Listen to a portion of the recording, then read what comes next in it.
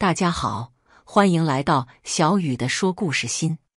刚下飞机，我特地买了束花，盛情邀请一同出差的同事们去我家，给我即将过生日的老公一个惊喜。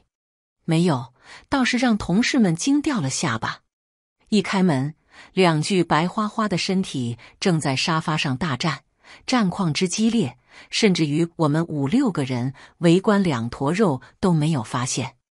同事们尴尬又八卦的默默掏出手机，咋咋，男同事的声音惊动了大战的两人，小三儿吓得尖叫，拼命捂着自己的身体。我老公瞬间萎了，手忙脚乱的扯过沙发巾为自己和小三儿遮羞。他抬眼见到我，怒声斥道：“赵小西，你带这么多人来是要闹什么？”我悲愤交加，夺门而出。几天前，我收到老公发来的消息，老婆今晚临时加班，不用等我吃饭了。我回了句“好的”，随即我在朋友圈一则说，下面点了个赞。文案最浪漫的事就是与你相拥，配图红烛牛排、红玫瑰。还有与男人的十指相扣，那只手的手腕上露出半只手表，与我送给老公范小健的限量版手表一模一样。很快，我便收到了现场直播，我老公与小三儿吃着烛光晚餐，在餐厅椅里的灯光下热情拥吻，而后相拥着去酒店开房间。我勾唇一笑：“证据足够了吗？”对方回复：“不够。”公共场合偷拍不能作为证据，可以告你侵犯他人隐私。我有点忧伤，哪里偷拍才算合法取证？自己家里。于是我卷了铺盖出差去了，贴心的为两人腾地。画面中，小三儿穿着我的吊带睡衣，在我的卧室、我的床上与我老公相互啃了半天，才依依不舍分开。老公，我不喜欢这个窗帘。以后我们换成粉色的好不好吗？还有这个床，他睡过的，还有衣柜，我也不喜欢。我老公搂着她道：“好，都依你，以后这个家你说了算。”小三儿扁着嘴：“那人家还要等到什么时候吗？我可以等，但是咱们的孩子可等不了啊。”老公爱怜的抚了抚她的肚子：“宝贝，你再委屈一段时间。”他们家老房子的拆迁款快要下来了，那可是好几百万。我抓住了重点，孩子小三儿终于怀上了，要准备逼宫了，所以该我出场上演那场捉奸大戏了。我老公出轨了，被捉奸在床，哦，不是沙发。我成了同事们同情的对象，没有撕逼，没有歇斯底里，我情绪稳定，搬了出去。这几天，老公每天夺命连环，call 加短信、小作文轰炸我，不拉黑不回复，让人有种还有余地的错觉。我还看得津津有味。老婆，我错了，我还是爱你的，都是那个贱人勾引的我。老婆，我发誓以后只有你一个，绝对不跟他联系。老婆，我只是犯了男人都会犯的错。老婆，你这么爱我。你会原谅我的，对不对？我为了彼此的体面，我们离婚吧。老公坚决不同意，直接杀到我公司停车场将我堵住。他来堵我，意料之外又情理之中，因为我知道想要离婚没有那么容易，他是不会轻易放弃我这块肥肉的。老婆，气消了吗？这样你打我，你多打几下，气消了就别闹了。跟我回家好不好？他抓起我的手就往他脸上打，巴掌声响起，他自己都愣了愣。笑话，你以为我会将手抽回去吗？老婆这下气消了，快跟我回家。我抽回手，往后退两步，与他保持距离。范小贱，你觉得我跟你离婚是在闹？你觉得那么多双眼睛看到你在我们家跟别的女人乱搞？我们还能继续过下去？老公语气软了软，认错态度十分诚恳。老婆，我发誓，我只爱你一个。是他勾引我的。我那天我只是喝多了，真的。我从来没有想过要背叛你。我冷笑：“你是没有想过，你是直接付诸行动了。因为你我在公司都抬不起头来，他们所有人看向我的眼光都充满着嘲笑、怜悯。我活生生成了一个笑话。”说到被围观，老公压抑着怒气：“我怎么知道会被那么多人看到？要不是你一声不吭带那么多人来，他们怎么会看到我气笑了？”你的意思是因为我带人来害你，被撞破在家里偷情，都是我的错了？我不是这个意思，小溪，你别闹了好不好？我闹？范小贱，你到现在都没有真正认识到你的错误，你出轨背叛，在我们的家里偷情，做那么恶心的事，我什么都没有做，只是要跟你离婚，成全你们罢了。我闹了吗？这个婚我离定了。我转身上车，关门打火，踩油门，留下他独自咆哮：“我拟好了离婚合法，现在住的房子是用我婚前的房子卖掉的钱买的，所以归我共同贷款买的新房也理应有我一半。”谁知道范小贱面对这个决定却发火了，他将我堵住，离婚协议丢到我面前，房子和钱你都想要，赵小西。你怎么这么拜金？吃相不要太难看了。我正要回敬，厨房里却慌慌忙忙跑出一个人来，竟然是他本该在老家的妈妈。好啊，原来这两天去搬救兵了。婆婆拉着我的手，语重心长：“小西两口子床头打架床尾和夫妻哪有隔夜仇？你也闹这么多天了，都缓一缓，妈给你做好吃的。”我疏离的抽出手，当着他的面取出纸巾擦了擦被他碰过的手。第一，不是我闹，是你儿子出轨还搞到家里来，被我同事亲眼所见。我这个人爱干净，不愿意脏东西近身，所以别再来找我企图说和。还有，你不是嫌弃我不能生吗？这下恭喜你，让他把离婚协议签了，你马上就可以抱孙子了。你愿意看到你范家唯一的孙子成为私生子吗？一提到孙子，婆婆眼睛亮得不灵不灵的，随即又稍稍收敛。小希，妈只认你这一个媳妇，那个女人一穷二白，怎么配成为我的儿媳妇？我已经叫小健跟她断了。你放心，以后孩子生下来你就是亲妈，我们绝对不让那个女人出现在你面前。我打断她的美丽幻想，你要让我去养野中野种两个字，狠狠刺激了婆婆。她嘴角抽了抽，努力压制住怒火。怎么能说的这么难听呢？小健的孩子也是你的孩子，以后也要给你养老的。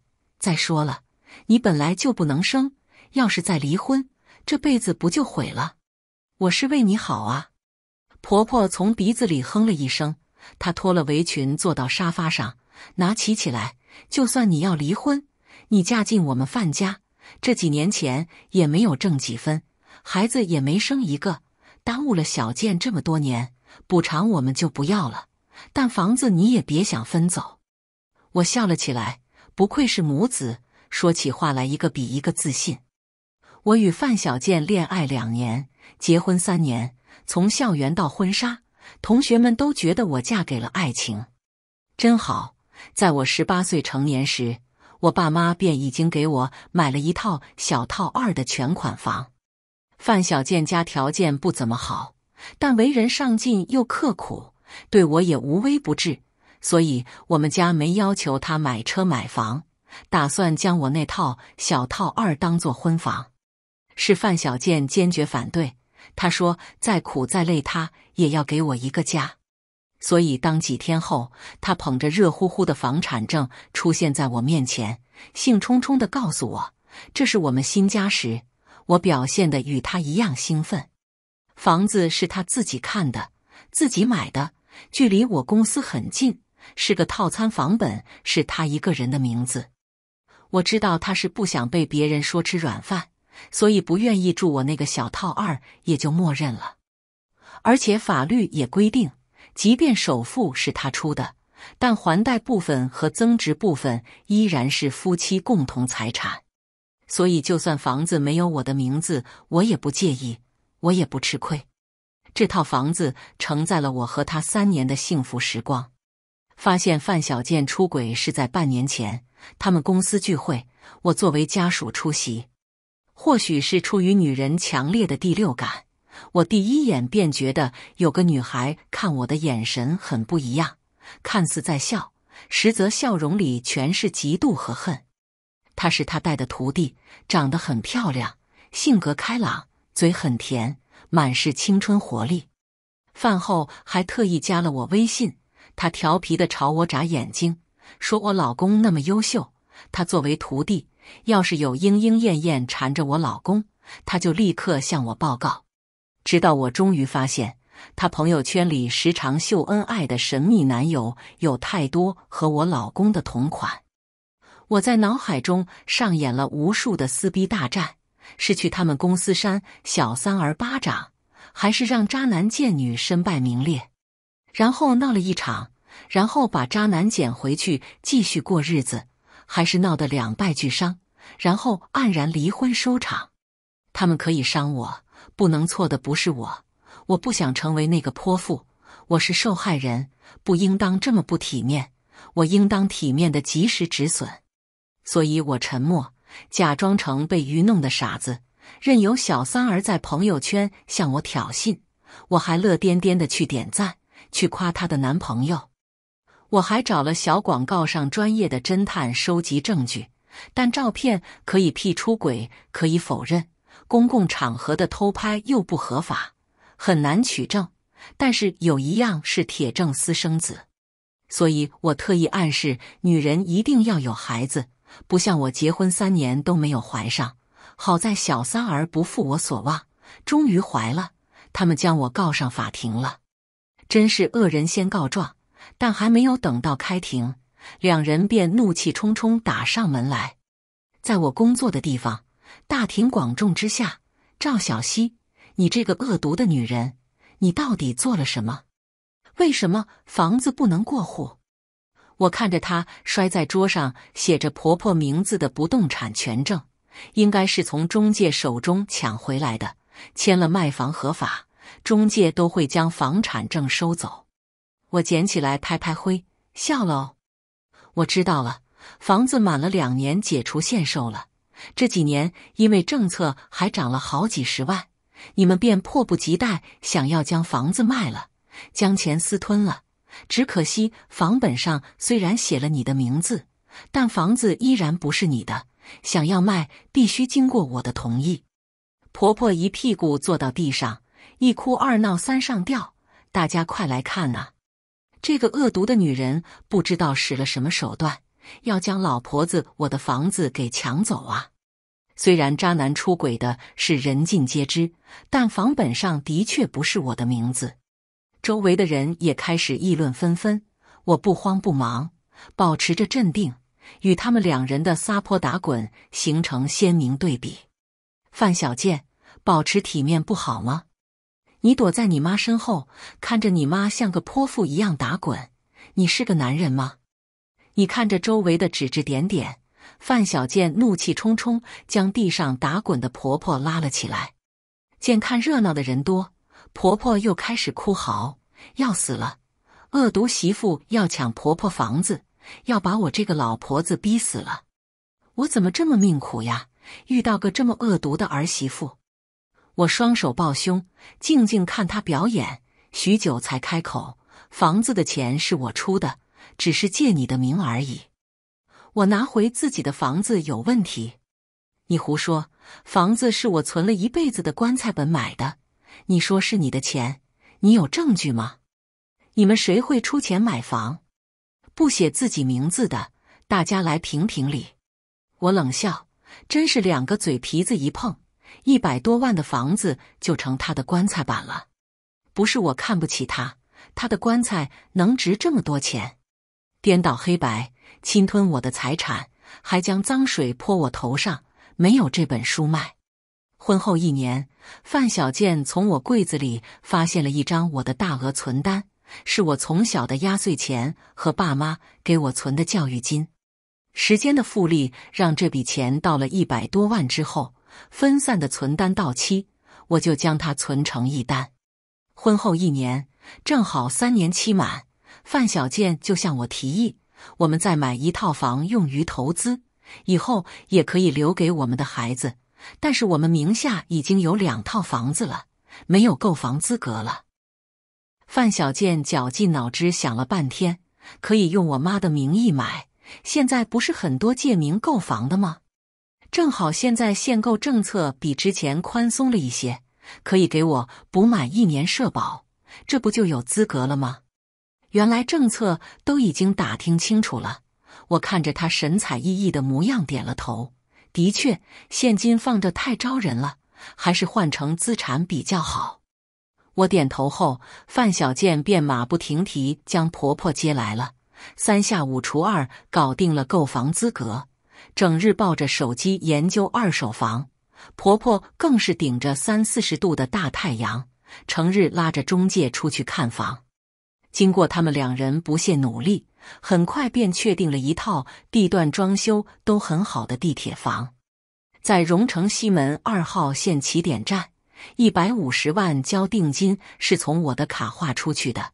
购房合法写的婆婆的名字，因为是全款买，不用办理贷款，所以过户相对来说比较简单。为了一天办完，不用多跑一天，我们选择了王婶，提前三天将买卖双方的资料提交审核，过户当天办理递件、缴税、取件。去过户前一天，我需要把钱打入婆婆账户。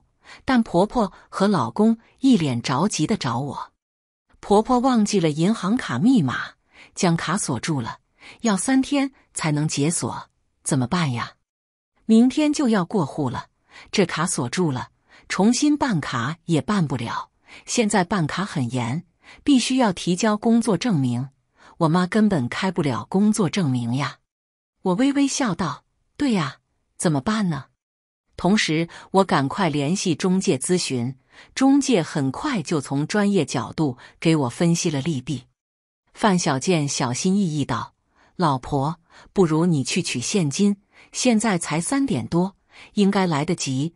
不然明天错过了过户，就要赔偿违约金，咱们交的五万块定金都拿不回来。”我点头，好。第二天，婆婆提着现金，死死抱在怀里。生怕别人抢了去，在房管局取了号，上午递件交税，中午打款，在下午等待叫号取件时，老公接到一个电话，在原地急得转了好几圈，才一脸歉意的跟我说：“老婆，我公司有急事，你在这里陪着妈，我先去公司，结束了你们自己打车回去。”取完新的房产证。看着大红色的不动产权证上印的黑漆漆的名字，婆婆笑得腮帮子能夹死一头牛。没想到我老婆子临老了还能拥有自己的房子，这可是一百多万呢。那我们还没有办完呢，那边还有一个窗口还要登记才算办完。好好，一次性办完。那咱们快去办。于是，在大红本本的刺激下。不识字的婆婆签下了自己歪歪扭扭的大名，办理的是顺位抵押以及全权委托公证顺位抵押，将房产的所有价值抵押给了我。虽然婆婆是产权人，但我是债权人。婆婆如果要将房子过户，必须要我亲自拿着证件来房管局解除抵押，可以理解为跟抵押给银行类似的意思。而全权委托公证了。婆婆将这套房子的处理全委托给了我，我可以代为处理此套房子的一切事宜，包含但不限于买卖、租赁、贷款、抵押等等。中介知道本身就是我出钱借名买房，所以办这些很正常。但婆婆他们不懂，只认房本上的名字，我也没有义务去科普。毕竟没有任何证据能证明这套房子是我婚前财产独立出资购买。若是我们婚姻发生风险，这套房就成了婆婆的资产，就算打官司我也要不回来的。我防的是小人，不是君子。若是老公一家做事敞亮，皆大欢喜；若是真存了一心，我这一举动保全了我爸妈给我存了几十年的压岁钱和教育金。现在看来我是对的。当初要我取现金来买房，不给我留出资证明的机会时，他们就已经算计好了要侵吞我的财产。只是可惜，法律是神圣的、正义的，不是让他们这样投机倒把的。毒妇，你这个贱人，你不得好死！你算计我的房子，要逼死我！你还我房子，我的房子！婆婆又使出撒泼打滚的绝招，我全当看戏。他们为了尽快转移财产，把房子以低于市场价好几万的价格卖了出去，签了买卖合法，收了买家五万定金。由于我不配合解除抵押过户，买家找中介闹产权不清晰，要退房赔偿双倍定金。中介打电话跟我商量，我安慰道：“放心，退房退款，让我婆婆赔偿违约金吧。”最后，婆婆不得不咬牙切齿，含泪退回定金五万，赔偿同等金额。虽然不情愿，但他们也只能给，毕竟后面还有大头花了五万块买了个百万房产。梦碎很快，离婚案开庭，严谨的说是财产分割案开庭。范小健的律师主张，我们夫妻俩结婚以来所有共同财产平分。我们现在住的房子是男方婚前财产，不用参与分割，一个一个来。首先是我们婚后共同买的房子，对方的证据很明确，我们的结婚证和房产证两个证件的日期，结婚证在前，房产证在后，证明是婚内购买，是夫妻共同财产。这套房子虽然是婚后购买。但是购房款是我婚前一套小套二的房子卖掉所得的房款，添了一些钱来购置的，所以应当是我的婚前个人财产，不参与分割。虽然婆婆那套房子范小建被我摆了一道，但现在这个房子的确是婚内购买的，而且添了一部分婚内的钱进去，按照法律就是婚内共同财产。但如果婚前房子卖掉，所得的房款，婚内重新购置，登记在一方名下，依然属于婚前个人财产。范小健与婆婆得意洋洋，这是法律规定的。就算房款是你卖了婚前房子的房款，但添了一部分，就是属于我们的共同财产。你得分给我一半，我也没有办法，你就认了吧。这种小人得志的嘴脸。我真的想丢掉体面，将他揍一顿。我冷笑：“范小建，原来当初你哄骗我，将房子卖了，换一套价格更高的房子，就是为了分我的房子，可真是手伸的够长啊！”范小建笑得更加猖狂。赵小西，保持体面，不要污蔑我。我希望你最后也能保持体面。我有证据证明，房子是我的个人财产。为了照顾范小健的自尊心，我们婚后便住进了他购买的房子里。我那套小套二就出租出去了。去年范小健以优化资产为由，让我将小套二卖掉，换成一套地段更好的大房子。毕竟一个小套房平白占了一个名额，租金也不高，有些亏。我想了想，又同意了。我将这事告诉了我爸妈。同时又咨询了专业的中介，虽然卖掉了婚前的小套二，但房款放在卡里一分钱没有动过。购买婚内新房全靠我爸妈财大气粗。按照我爸妈的话说，闺女，你的婚前房子本来就是留给你的底气，房子可以卖，但钱你自己留着。不想上班了，那钱就随便造大房子，把妈买给你。所以，范小健精心算计的将我的婚前个人房财产洗成婚后共同财产，实际上是我那宠女狂魔亲爹娘赠予给我的。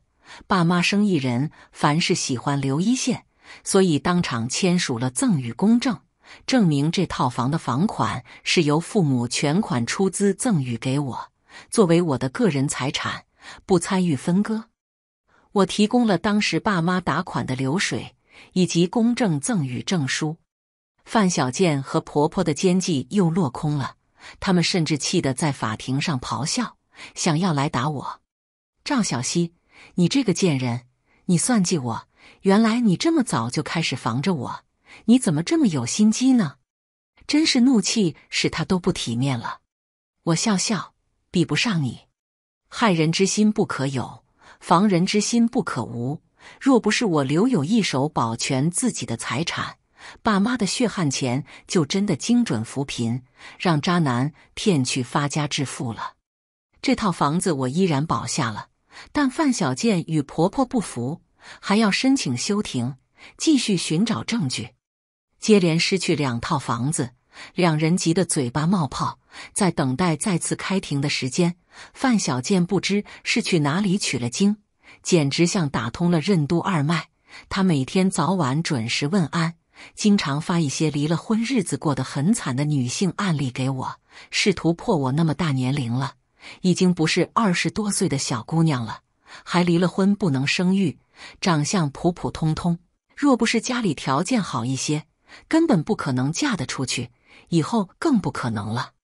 小西，我们在一起这么多年了，因为这么一点小事，你就真的舍得我们这么多年的感情吗？你家务也不会做。饭也不会煮，如果不是我迁就你，你只能吃不健康的外卖了。以后离开我，你就吃不到那么好吃的饭了。小西，我知道你只是生气，我跟别的女人有关系，但我对她没有感情的，她没有你温柔善良，只知道找我要钱，我心里还是只有你一个的。乖，别闹了，传出去不好听。我答应你。只要你回来跟我好好过日子，我就只有你一个人。你看你都算计我，咱们就当扯平了好不好？你不是一直想我陪你去看日出吗？我们去看日出好不好？或者去看海？你不是说没有看过海吗？我们去三亚，去泰国，我教你潜水。我看着手机上的小作文，顿了顿，回复了一个字：好。随即，范小健又兴冲冲的发来去海边潜水的行程，甚至连机票都订好了。我冷笑着，没有再回复。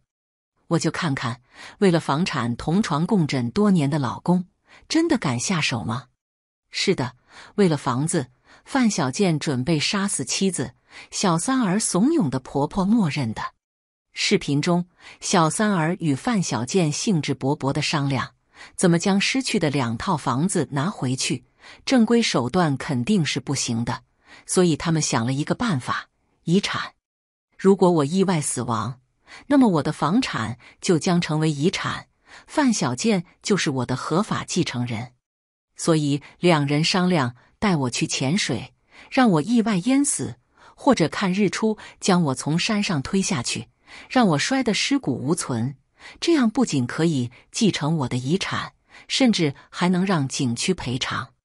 但是我父母健在，同样是第一顺位继承人，会分走大部分我的遗产，所以他们会借口购买旅行意外险，将指定范小健继承我所有财产的文件夹杂在旅行意外险中，让我签字，然后杀了我。如果是将我推下山崖，万一我被树拖住。不能死得彻底，他将功亏一篑，所以他最终决定带我去潜水。我是个旱鸭子，完全不会水，一旦下水我就任人鱼肉。他带我去了三亚，我们在海边一同回忆往昔，回忆曾经美好的日子。老婆，你原谅我了吗？我们一起好好过日子好吗？我眼眶通红。你发誓，你再也不跟那个女人联系。再也不准背叛我，否则天打雷劈，断子绝孙。范小健赶忙举手发誓，我这才破涕为笑。我们穿好潜水服，下水前我打退堂鼓，要不我们还是不下去了吧？我害怕万一在水底氧气用完了，我不会游泳，淹死了怎么办？范小健身子一僵，放心吧，我会保护好你的。说完，他亲自为我带好氧气装备，一把将我推下水。就这么想我死吗？为了更方便实施杀人，他带我潜到安全范围之外。到了他准备好的地方，突然他窜过来，迅速将我的手反剪，单手扣在身后，而另一只手取掉我的护目镜、我的氧气罩，将氧气瓶从我身上脱离。我拼命挣扎，将他的面罩扯了下来，露出他狰狞的面孔。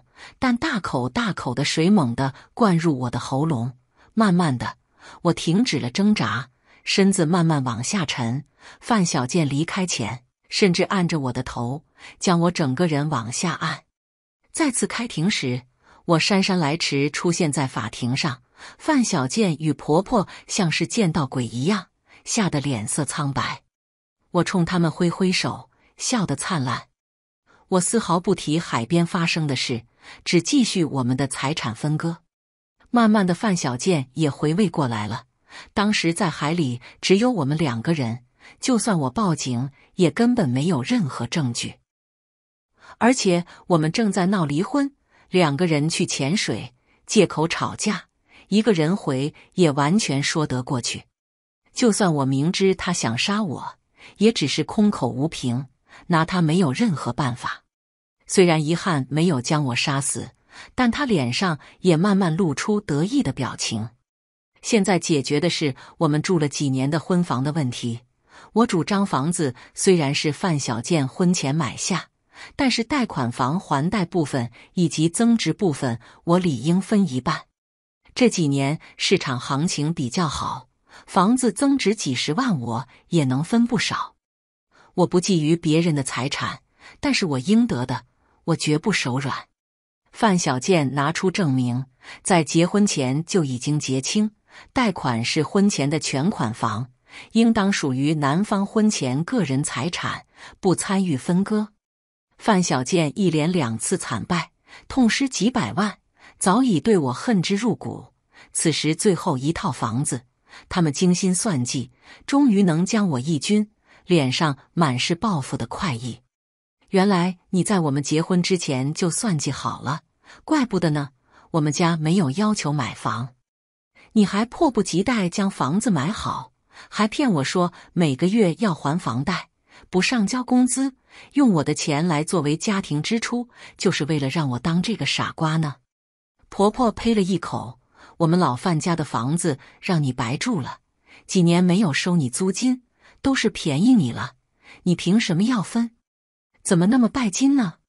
我回敬：你们家就这么三瓜两枣的，有什么金让我拜的？各种小动作，想侵吞别人财产的不是你们两位吗？你们以为婚前全款就能不分给我吗？鉴于前两套房我的战斗力。范小建微微变了脸色，你什么意思？难道你还能勉强不成？我，你的房子怎么买的？怎么在婚前全款结清的？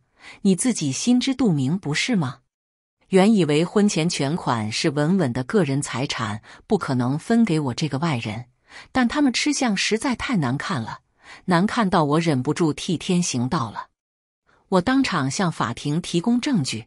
证明我是有资格分一部分房子的。在发现范小健出轨后，我便找了侦探调查两人。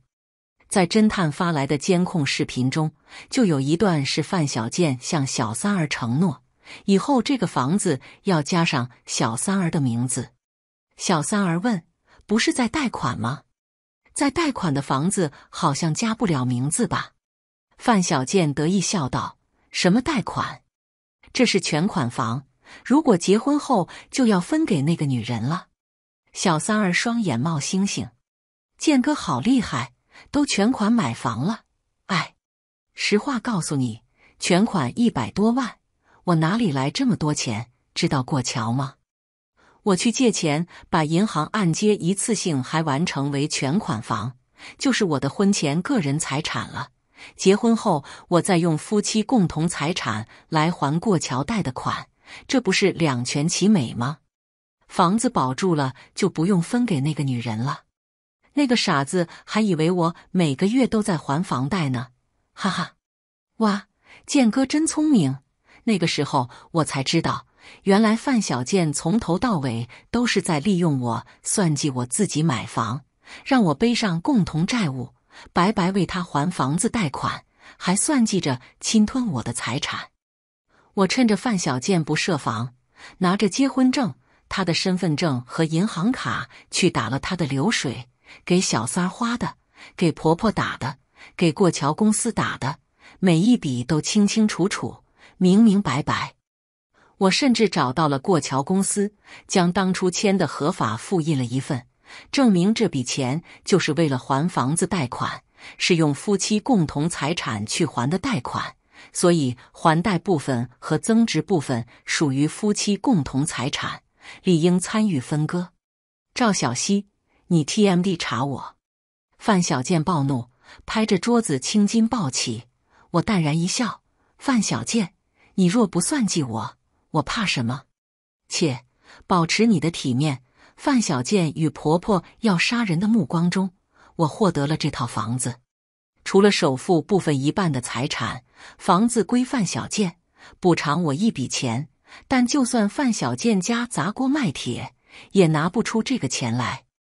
我提出房子归我。我将房子当初的首付以及增值的一半以现金形式补偿给范小健，并准许我们离婚。至此，这场为期大半年的离婚官司落下帷幕。离婚判决书到手，接下来还有大戏。范小健输得一败涂地。官司打完，他像是狗皮膏药一样，整天给我打电话发小作文：“老婆，我错了，我真的错了。”你原谅我好不好，老婆？我真的再也不去拈花惹草了。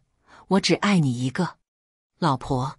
我们这么多年的感情，你真的舍得吗？老婆，我知道你还是爱我的。我们复婚好不好？我回了一句：“让我再来扶贫吗？”你看我头大吗？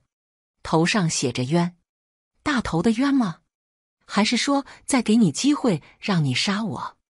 范小健一僵，老婆，你相信我，那只是意外。真的，我想救你，但你一直挣扎。如果我不走的话，我们两个就死在那了。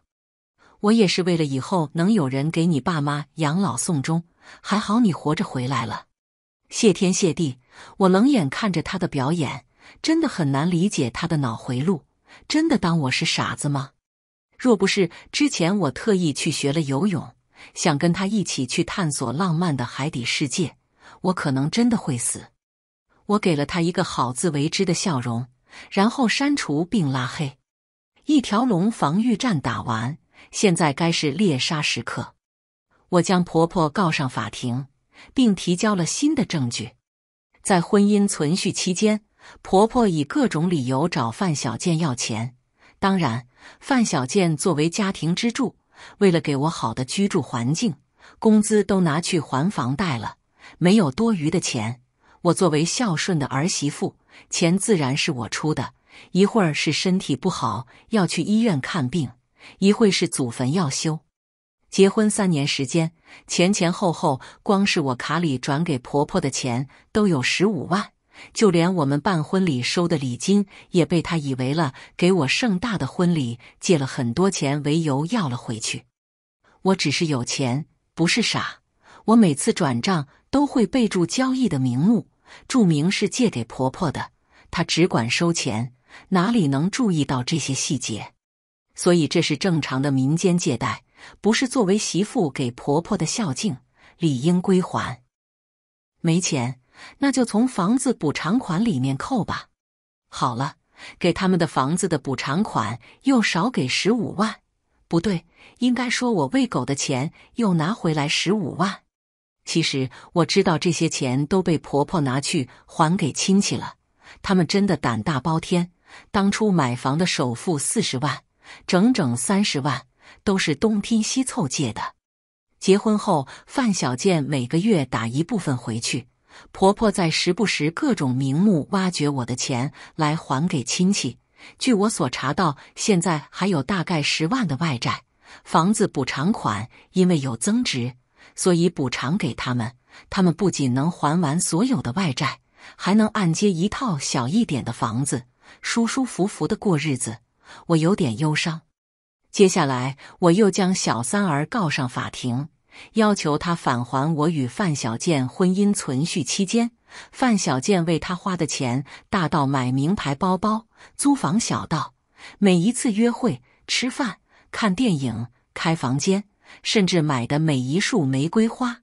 每一杯奶茶，通通给我还回来。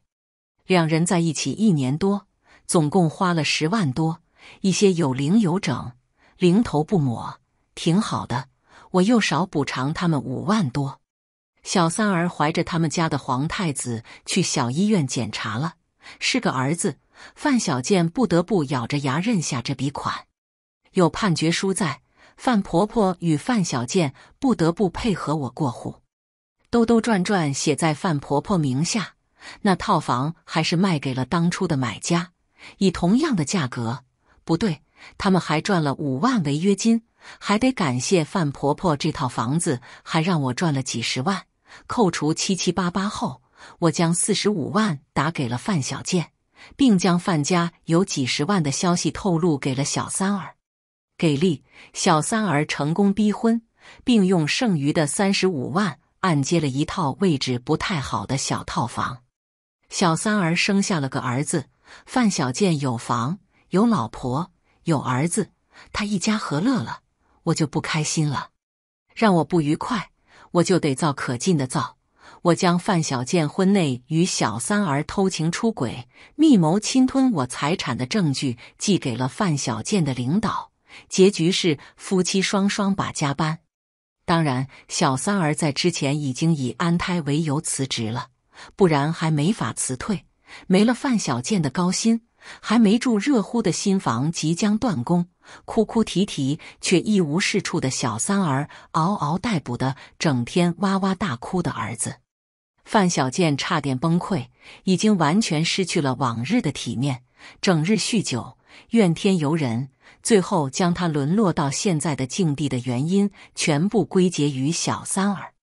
若不是小三儿，他还跟我这个富婆在一起，名下几套房，开着豪车，住着豪宅，家里红旗不倒，外面彩旗飘飘，日子好不快活。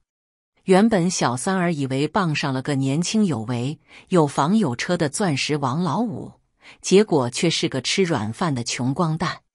两人想看两眼，整日争吵，日子鸡飞狗跳。我勾唇一笑，放出一个王炸。我将珍藏多年、当初婚检时范小健不孕不育的检查报告寄给他。之后，小三儿别打的毁了容，肋骨断了好几根，半死不活的。给我联系，我把范小健还给你。你给我一百万，只要一百万，我再也不会出现在你面前。我笑道：“范小健在你眼里这么值钱，可是垃圾就应该扔进垃圾桶里。你们渣男贱女锁死吧！小三儿得到了应有的惩罚了，该我终极猎杀时刻了。我去警局报了警，我花高价雇的侦探，昂贵的摄像机，将范小建在水中将我禁锢，扯我面罩，取我氧气。”甚至将我死死往下按的视频拍得清清楚楚，还有他作案时那狰狞的面孔。毫无意外，范小建杀人失败，喜提铁笼子编制小三儿，顶着毁容的脸，带着私生子去找亲爹，同样被打了出去。这一辈子再也不能凭着那张脸去祸害别人。而范小健进去蹲着了，房子断供被拍卖。范婆婆算计来算计去，儿子坐牢了，大孙子没了，房子没了。我猜他晚年应该会穷得很精彩吧。从捉奸到现在保全财产到收拾渣男，整整一年时间，虽然费时费力，但总算摆脱了渣男，保全自己的财产。在婚姻中，我们不去算计什么，但也一定要保护好自己以及家人的财产。法律是公平的、正义的，我们要学会用法律保护自己的合法权益。现在我们来听听下一个故事。彭雪已经六十二岁了，每个月的养老金只有二百六十块。这天下午，他去找女儿丹丹，对丹丹说：“丹丹老家修路，我们家房子被占了，总共拿到了九十五万补偿款。”丹丹听了挺高兴，说：“妈，这挺好的，你在我这小区买套房子，我平时下班就能去看你。”老彭摇摇头说：“不行，丹丹，这钱该是你大舅的。当初我们娘俩没地方住，他把房子给了我们，一分钱都没要。现在这房子拆迁，这钱我们不能要，不然我们也太没良心了。”丹丹觉得妈妈说的对，说好，那你等我两天，周末我开车带你去找大舅，把钱给他送过去。老彭担心的说：“丹丹。”你会不会怪我？以后我又没地方住，可能还会拖累你。他又赶紧说：“丹丹，你也别担心，我已经想好了，以后租个房子摆摊卖烤肠，生活费应该能挣够。”陈丹摇头说：“妈，你瞎说什么呢？我是你女儿，照顾你本来就是应该的。妈，你说的对，当年如果不是大舅，我们娘俩都没个落脚的地方。”还不知道会怎么样呢。他笑了笑说：“妈，你还记得吗？你在村里劳保服厂干了一年，存了六千块钱，我们送去给大舅，让他一定要收下。可等我们俩冒着雪回家，我兴奋的要穿舅妈给我买的新衣服，在棉衣口袋里放着那些钱。当时你抱着我哭了好久。妈，大舅对我们有恩，那房子住了这么多年。”已经是我们占了便宜，现在这钱肯定要还给大舅的。老彭听女儿这么说，不由笑了。虽然这笔钱能改善他们的生活，可一定会让他们心生愧疚，这辈子只要想起来都不会安心。丹丹妈，等下我们回家，我给你准备被褥，你和欣欣住一个房间。老彭有些不好意思，觉得住在女儿家给他添了麻烦。可老家的房子和院子已经拆了，他也不能一直住在亲戚家里。丹丹在一家会籍事务所工作，每个月工资一万三千。她老公方瑞在国企工作，是安环部部长，每个月工资一万一千。吃饭的时候，她对老公说：“方瑞老家修路，房子被占了，我妈暂时住在家里。”儿子怡博说。外婆以后要和我们一起住吗？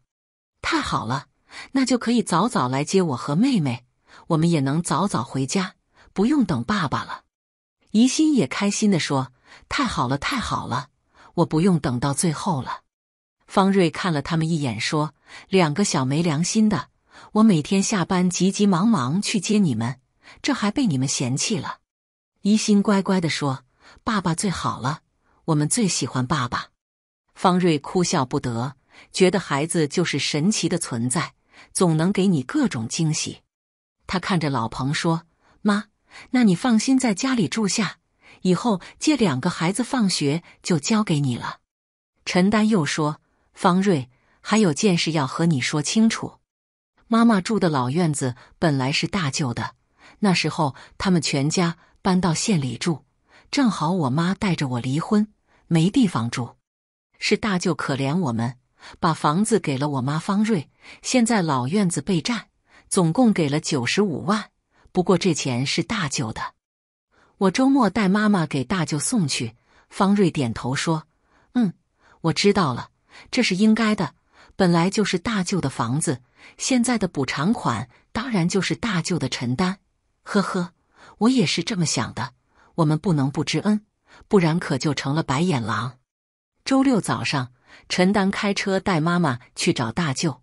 大舅家在隔壁县城，和他们住的有些距离，开车要两个小时左右。带着给大舅的礼物，两人敲开门，家里只有大舅一个人正在吃午饭。他有些不好意思的说：“小雪、丹丹，你们来怎么不提前打个电话？我懒得做饭，就想着凑合一口，只买了两个馒头。”还有点榨菜，丹丹大舅，你别和我们客气，我们早饭吃的晚，现在一点都不饿。彭雪皱了皱眉说：“大哥，你不是胃不好吗？吃了馒头胃反酸会很难受，怎么现在只吃这个？”他大哥彭峰叹口气说：“你大嫂没了，我又不是很会做饭，就想着凑合一顿。”彭雪大哥，那泽言两口子周末也不在家吗？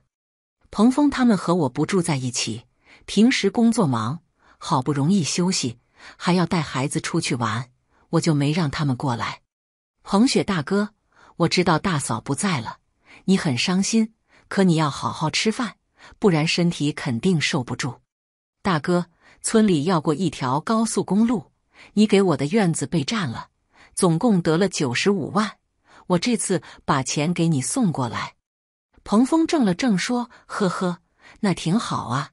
小雪，你岁数也不下了，一个人住村里也不方便，正好在县城买套房，和丹丹住的近点，也方便他照顾你。”彭雪，不行，大哥，这钱是你的，我不能拿。有了这笔钱，实在不行，你找个钟点工，每天给你做两顿饭，我们也放心。彭峰却不高兴了，说：“小雪，那房子我早给你了，户主也是，你现在的钱就是你的。小雪，你看我现在有房子，还有退休金，虽然不多，可足够生活了。反而是你，如果不买个房子，你以后住哪？就算丹丹不说什么，让你住家里，可她老公呢？还有她公公婆婆呢？他们不会有意见吗？小雪。”听我的，赶紧回去买套房子，好好过日子。呵呵，你别替我担心，我现在煮面条、包饺子这些都没问题。今天就是偷懒了。陈丹赶紧说：“大舅，我和妈妈商量了，当初你好心帮助我们把房子给我妈妈，让我们有个地方住。可不管怎么说，那房子就是你的，这笔钱就该你拿着，你就别和我们客气了。”大舅，你放心，我会照顾好我妈妈的。他暂时先和我一起住，过一段时间我就近给他租套小房子，让他住的自在点。彭峰摇摇头说：“丹丹，你能这么做，大舅很开心。可我说的是真的，房子给你妈妈，那就是你妈妈的。丹丹，我和你妈妈是亲兄妹，没什么好客气的。你表哥现在过得也挺好。”不需要我为他操心，而我自己也有房子，有没有这笔钱都没什么。不过单单人说好的事情就不能随便改。我早已经把房子给你妈妈，那就是她的。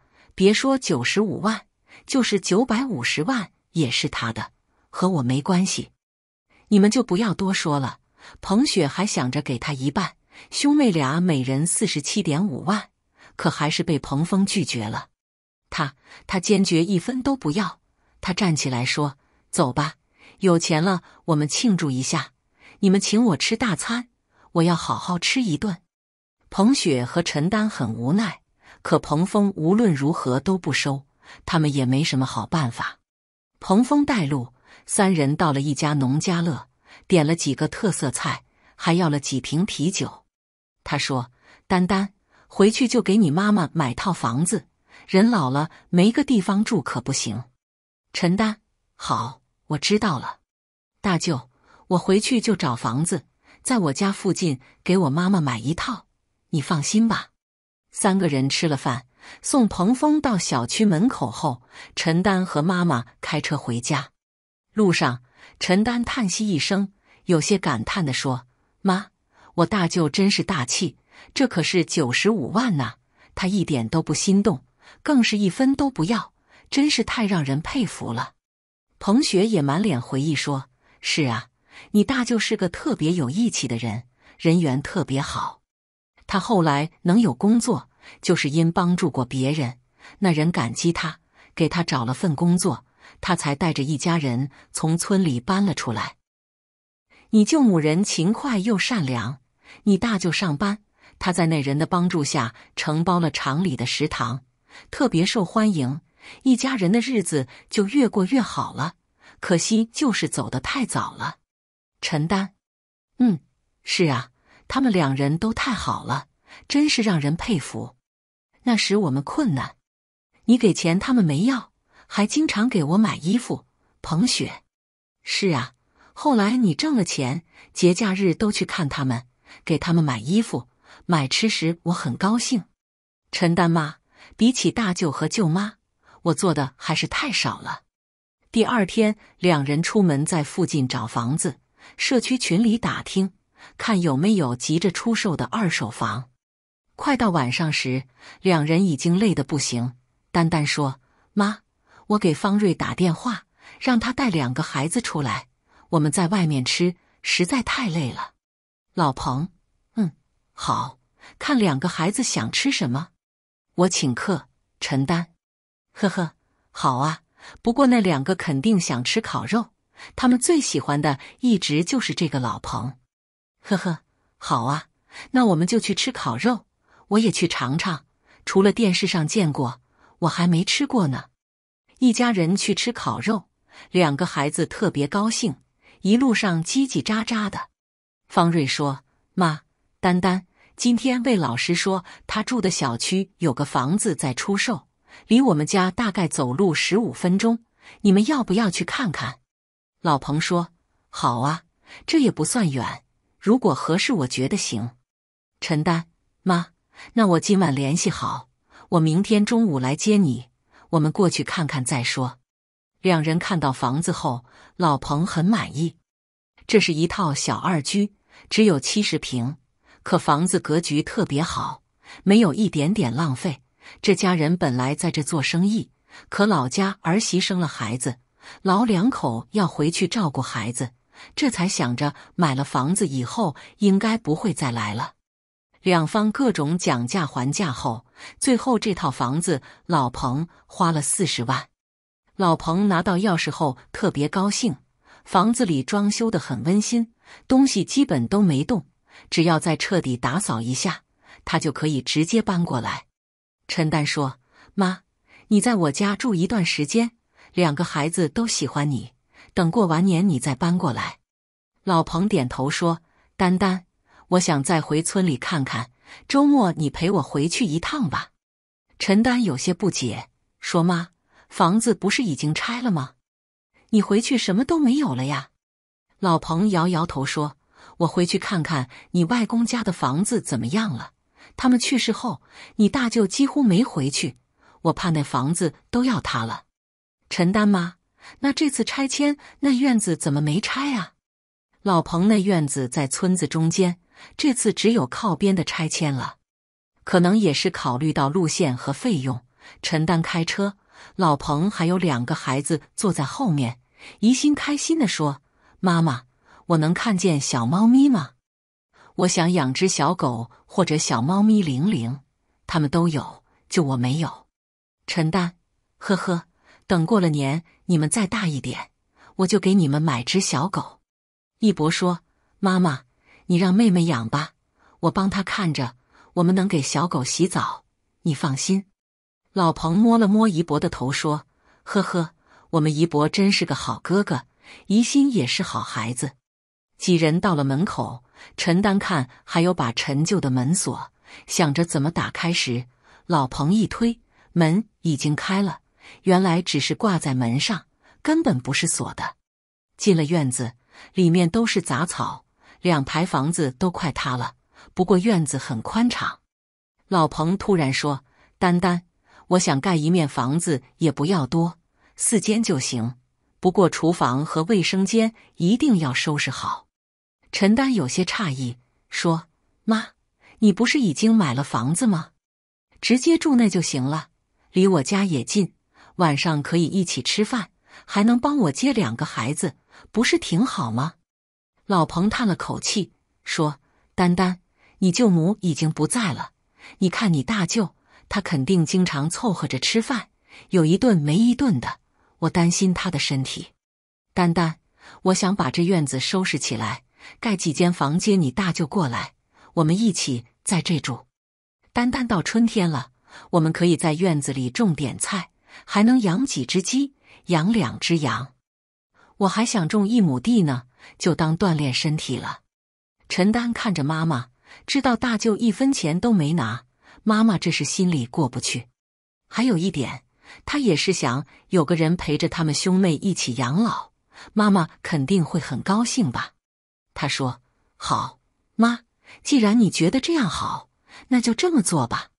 妈，那套房子我先租出去，租尽够你和大舅生活了，然后盖房子，剩下的钱也存成定期，这样每年利息也不少。你说呢，老彭？呵呵，好，都听你的。”他又说：“走，我们去找你柱子叔，他盖了一辈子房子，很有经验，我们包给他做也放心。”两人找到柱子叔，还好他今天在家。老彭说了要求后，柱子说：“姑，你放心，交给我就行。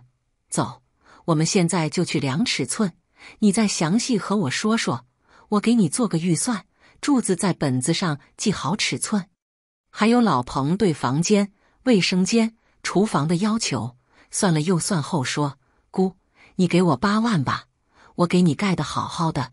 如果再加两万，衣柜、橱柜这些我都给你做好，你只要买家电就行。”老彭点头说：“柱子，我相信你。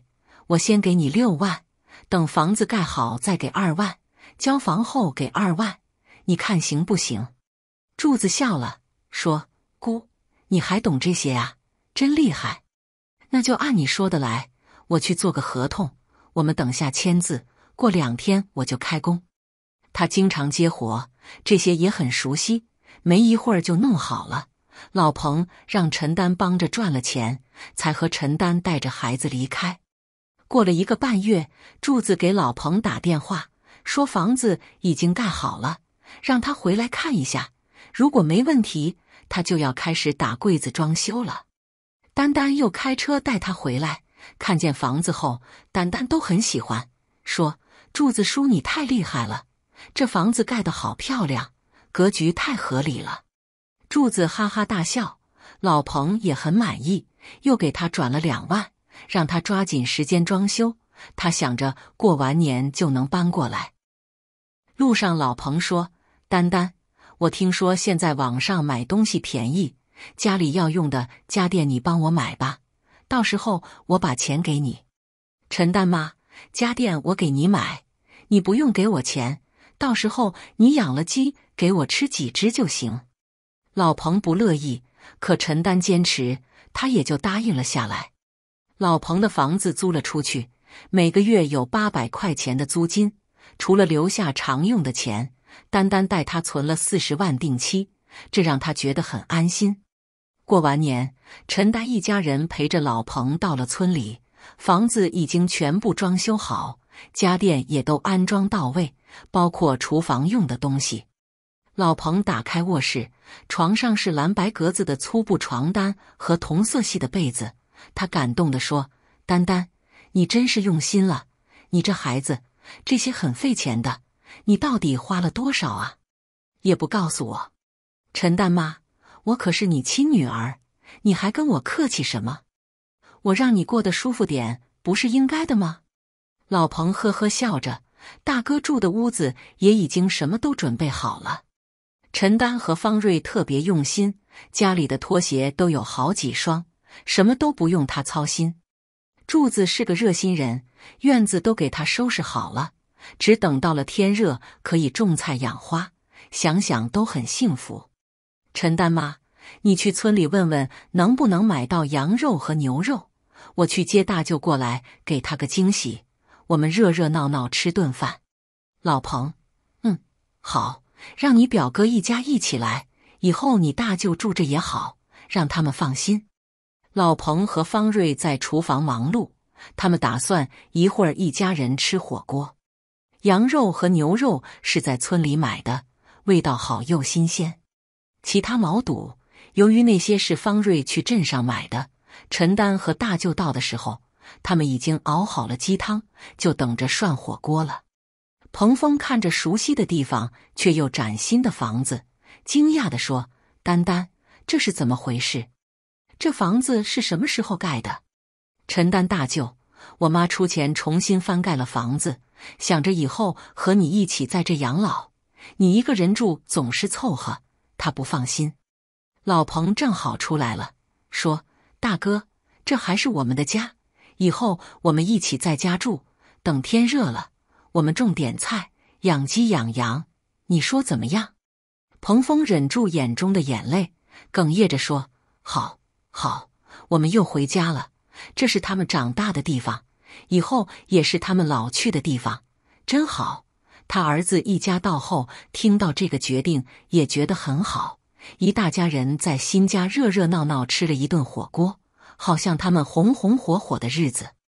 无论是谁，你待我如何，我便待你如何，这是规矩，更是礼貌。更是对彼此的理解和尊重。房子再大，有笑声才是家。幸福不是你家里有多富有，而是你家人的笑容有多灿烂。好了，第一个故事到这里就结束了，感谢您的观看支持。接下来请听第二个故事：防火防盗防闺蜜。我老公全款转账给我闺蜜买车，他以为我对他们私下的事不知情。还在我面前炫耀。很快，我将以夫妻共有财产将他追回，并让他婚败名裂。今天早上十点，我从手术室里推出来，偷听到我的好姐妹和我老公的谈话，我整个人震惊，恶心的像吞了一只苍蝇一般。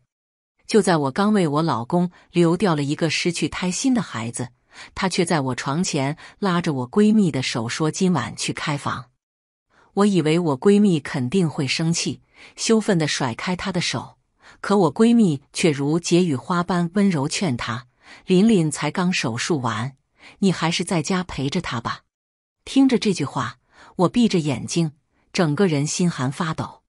什么时候我老公和我最好要的姐妹在一起了？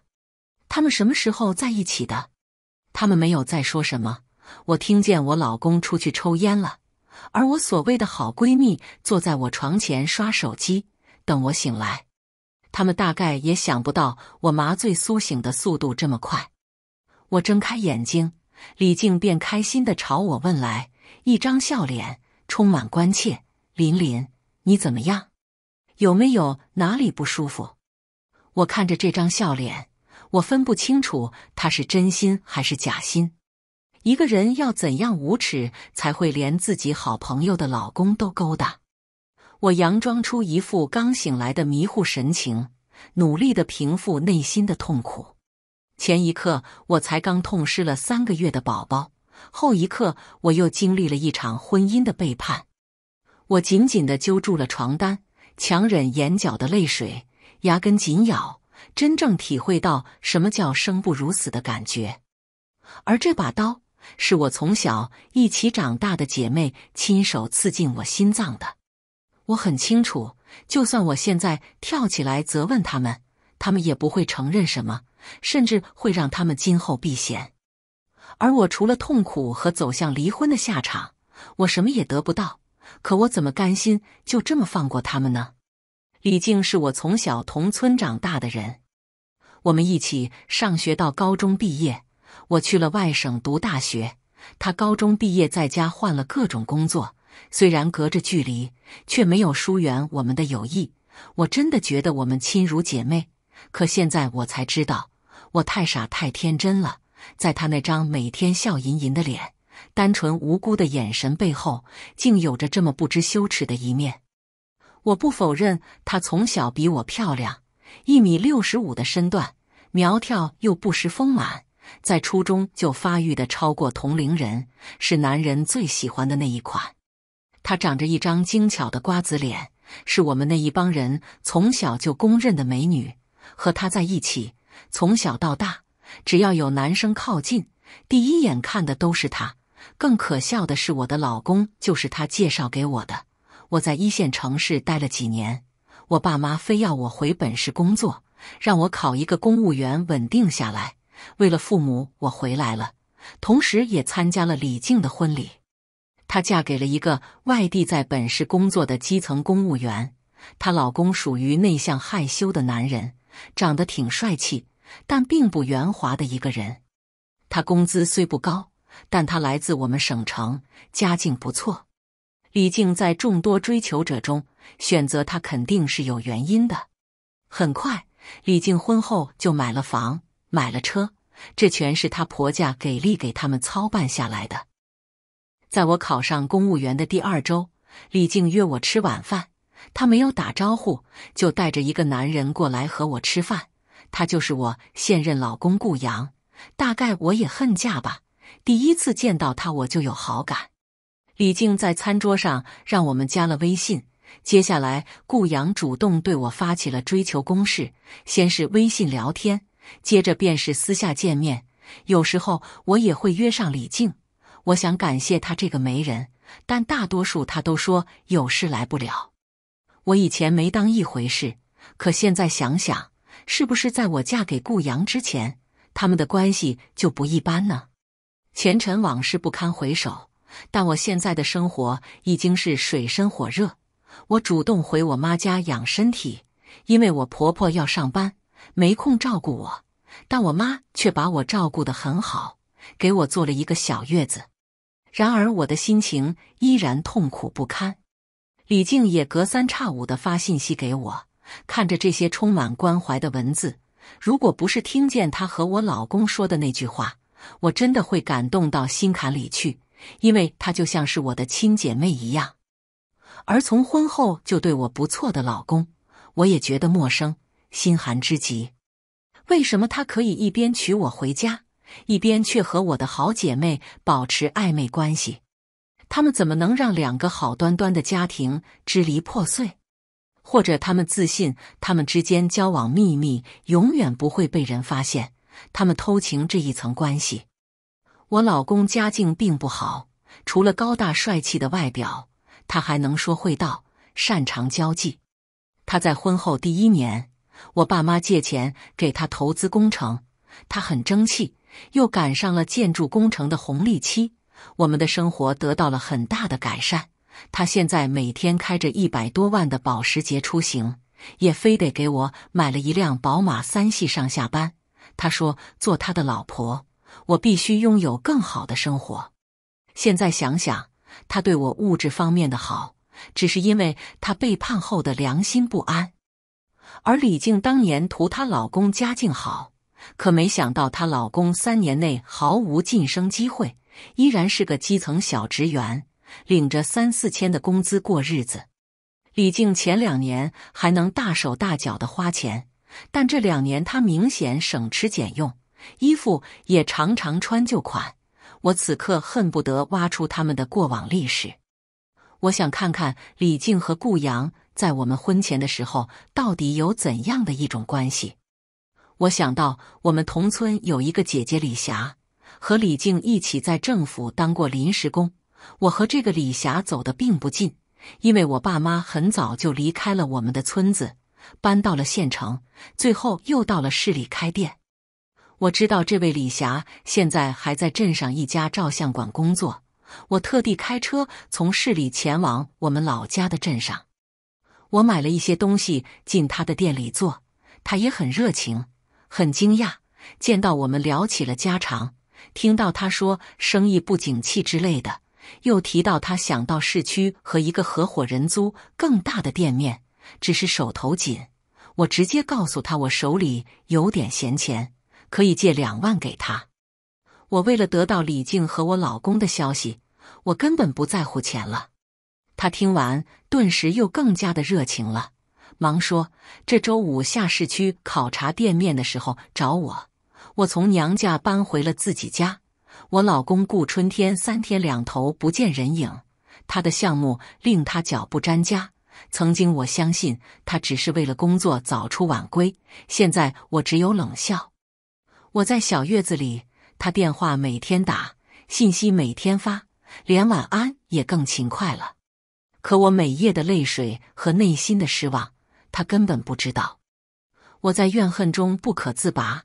小月子没做好，反而身体虚得很，还感冒了一场。关于我们的夫妻关系，结婚一年，我们很和谐。渐渐的，他忙到回家就睡，我体谅他累，也不介意这方面事情。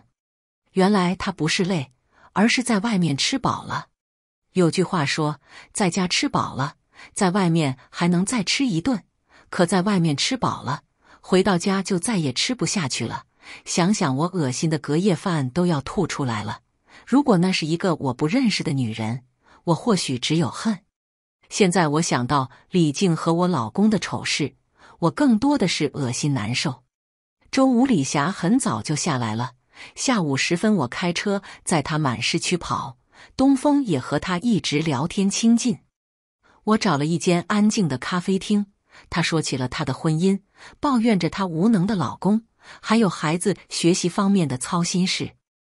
我听着她抱怨，也抓住了这个时间，朝她问道：“霞姐，我听说你和小静一起工作过，你知道她和我老公顾阳是怎么认识的吗？”李霞的眼神顿时有了几分错愕，她关心的问我一句：“你们夫妻感情没出什么事情吧？”我叹了一口气，一脸愁容道：“就是因为不太好，他最近总不见人影。那你可得看着他点，千万不要放任他不管，多盯着他点，不然婚姻很容易出问题的。”霞姐，你见过我老公吧？我问。当然见过。你不知道五年前你老公曾经也和我们一起在政府当过临时工吗？霞姐反问我一句，我直接脑袋懵了几秒。是吗？什么时候？那个时候我在派出所照相，小静做文件，你老公刚从外面回来，进去做了半年的保安。霞姐说完，又更小声的凑近了我一些。小林，我和你说。他和小静交往过一段时间，你得注意点。我的脑袋轰然而炸。交往过？他们在我们结婚前交往过。为什么李静把一个和他交往过的男人介绍给我？李霞既然打开了这个话题，她也没有隐瞒了，便告诉我一切。李静和我老公交往的那半年里，他们一起在派出所旁租房住同居。后来，李静的老公从外地调了过来。李静为了抓住省里的男朋友，便果断和顾阳分手。顾阳不愿分手，便纠缠过他一年。李静那个时候一心只想嫁入省城，而就在那个时候，我从外地调回家，为了甩掉顾阳，他转头便把他介绍给了我。顾阳知道和李静没可能，加上他那个时候已经怀孕。所以，顾阳死心的同时，他看上我的家境，便转而追求我。听完这一切，我才知道，当年李静看上她老公家的钱，而顾阳也看上我家的钱，所以他们双双为了利益分开。然后现在顾阳生意成功，李静嫌弃老公无能，他们倒是旧情复燃了。可我老公发家致富的第一桶金却是我爸给的。他不但没有任何感恩之心，还背叛了我们的婚姻。此刻，我的三观直接崩碎了。我从来不知道有人可以无耻到这种地步，我更感到羞愤。顾阳追求我的时候，李静在一旁看着；当我高调在朋友圈秀恩爱的时候，他的内心是不是在想：我再怎么秀恩爱，也是他曾经不要的；我再幸福，都是捡他剩下的。我的内心犹如吞了一万只苍蝇般恶心，我恨不得把他们的关系公布以众，恨不得把他们全都钉在道德柱上，供人围观。我恨顾阳，更恨李静。如果顾阳贼心不死，那李静身为我的好姐妹，她就没想过维护我的幸福吗？更何况他背后还有一个家庭，显然他现在享受顾阳带给他的金钱快乐。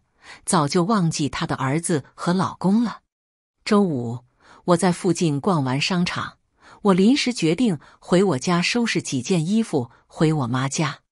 当我开车停在小区门口时，保安看到我，立即上前和我打招呼：“这几天都不见你娃。”这是一个热心的保安大叔，我平常出门都和他打招呼。我笑了一下，对我现在住我妈家。保安大叔看我几眼，然后他突然小声道：“你老公的车也刚进地下停车场了，他车上坐了一个女人，我以为是你呢。”我的脑袋轰然炸了一下，如果不是我，那会是谁？那难道顾阳这混蛋竟把李静带到我床上去了？我不想让外人看我笑话，我随口笑了一句：“大概是我小姑子吧。”可我看见保安大叔还是同情的看我两眼，没说什么。而我在小区门口吹着三月的冷风，内心更冷。在保安大叔转身之际，我朝他道：“大叔，能不能麻烦你一件事情？”你说。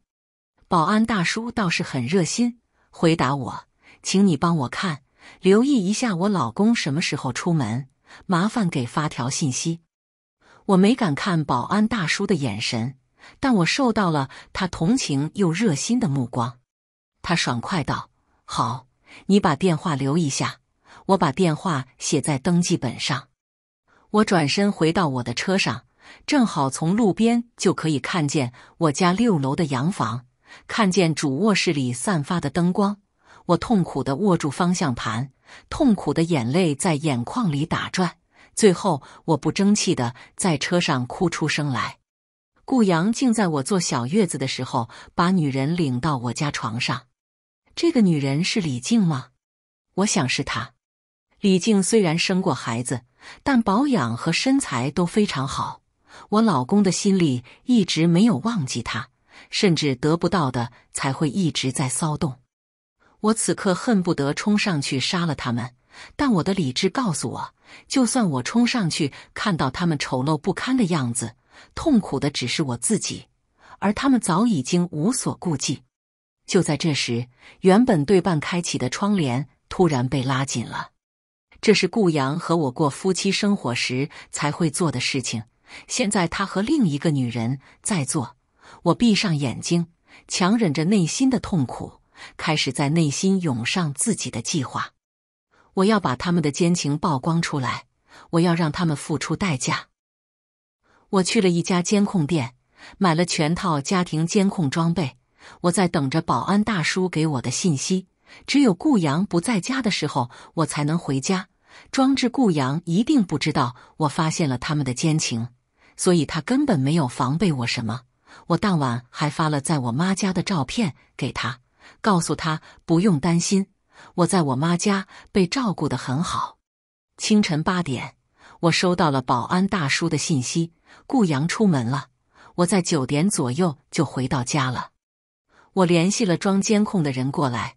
我在家等人的时候，我脑子有些乱。我走进了主卧室里，翻开了垃圾桶。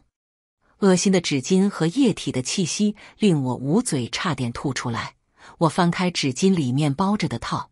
令我恶心之极，监控全部装在隐藏地方，而我的手机二十四小时随时监控。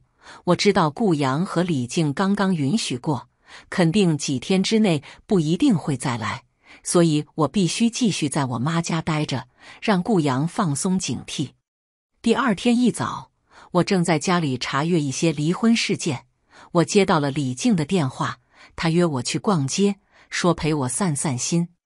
我答应了，我想看看一个人到底可以无耻到什么地步。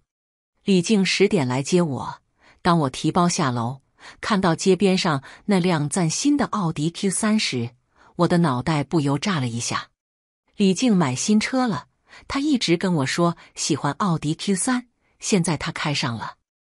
我竟第一个直觉怀疑这是顾阳给他买的，因为顾阳近一年的项目收益我都不清楚了。我只知道他的项目越做越大了，接了一个新区、一个学校的大工程。你买车？我佯装惊讶的问。嗯，刚提的。李静笑着说：“他没有看我的眼睛。”他的反应证实我的想法是对的。他顾阳，满足他的物质欲望。我坐进车里，果然是一股新车的味道。我好奇的问一句：“你婆家给你买的吗？”嗯，对。我婆婆说接送我儿子上学方便，她回答的并没有底气，真讽刺。她开着我老公买的车在我面前秀存在感了。我不但发现李静换车了，连她身上的衣服都是品牌了，连她脖子上那条项链都是新的。顾阳对她倒是大方的很呐，他是床上多买力侍候我的老公呢。你儿子怎么样？我问他太调皮了。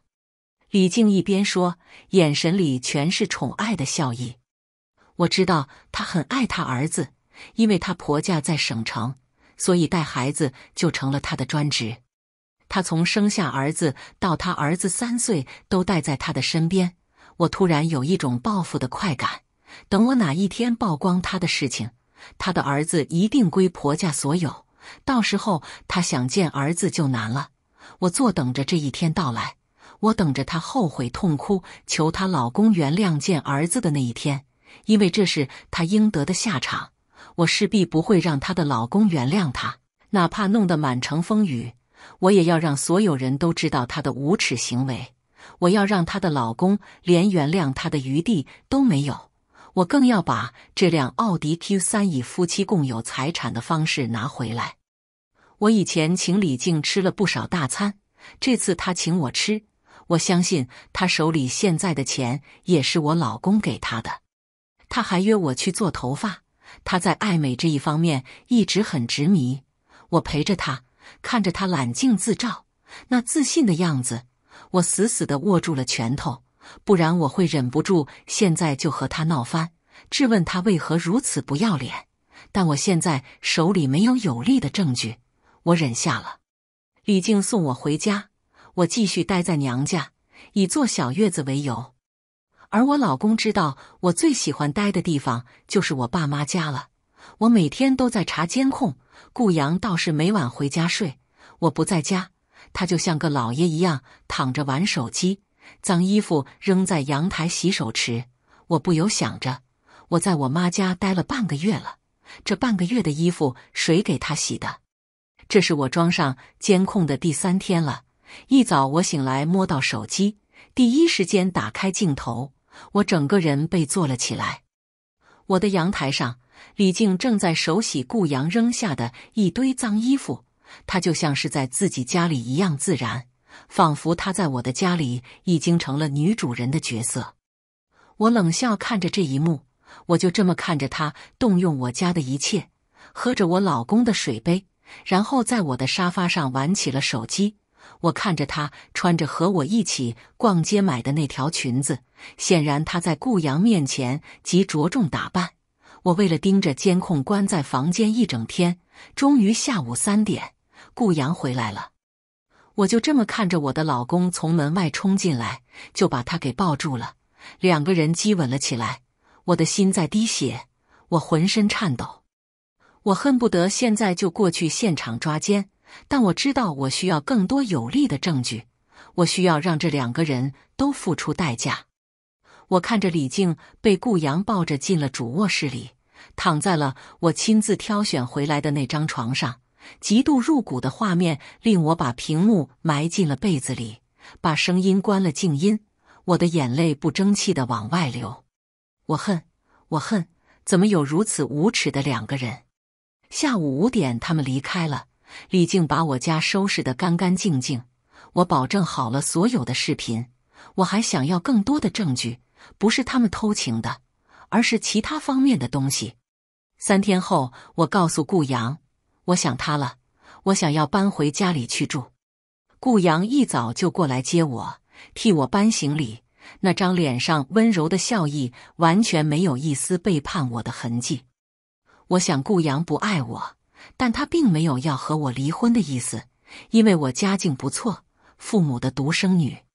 也许他认为我笨，这辈子发现不了他和李静的奸情，而他可以在外面玩，又有一个爱他的妻子为他生儿育女，他很满意现状。我不知道该不该庆幸我的孩子失去胎心而离开，因为生活在这个家里，他也注定会成为单身家庭的孩子。我回到家里，面对着我的那张床，我胃里的食物突然冲涌而出。哦，我冲进了浴室里，吐在了马桶里。怎么了？哪不舒服吗？顾阳过来拍着我的肩膀，半揽着我。没事，手术后我胃一直不舒服，调养就好。我安慰他，顾阳松了一口气。我抬头朝他道。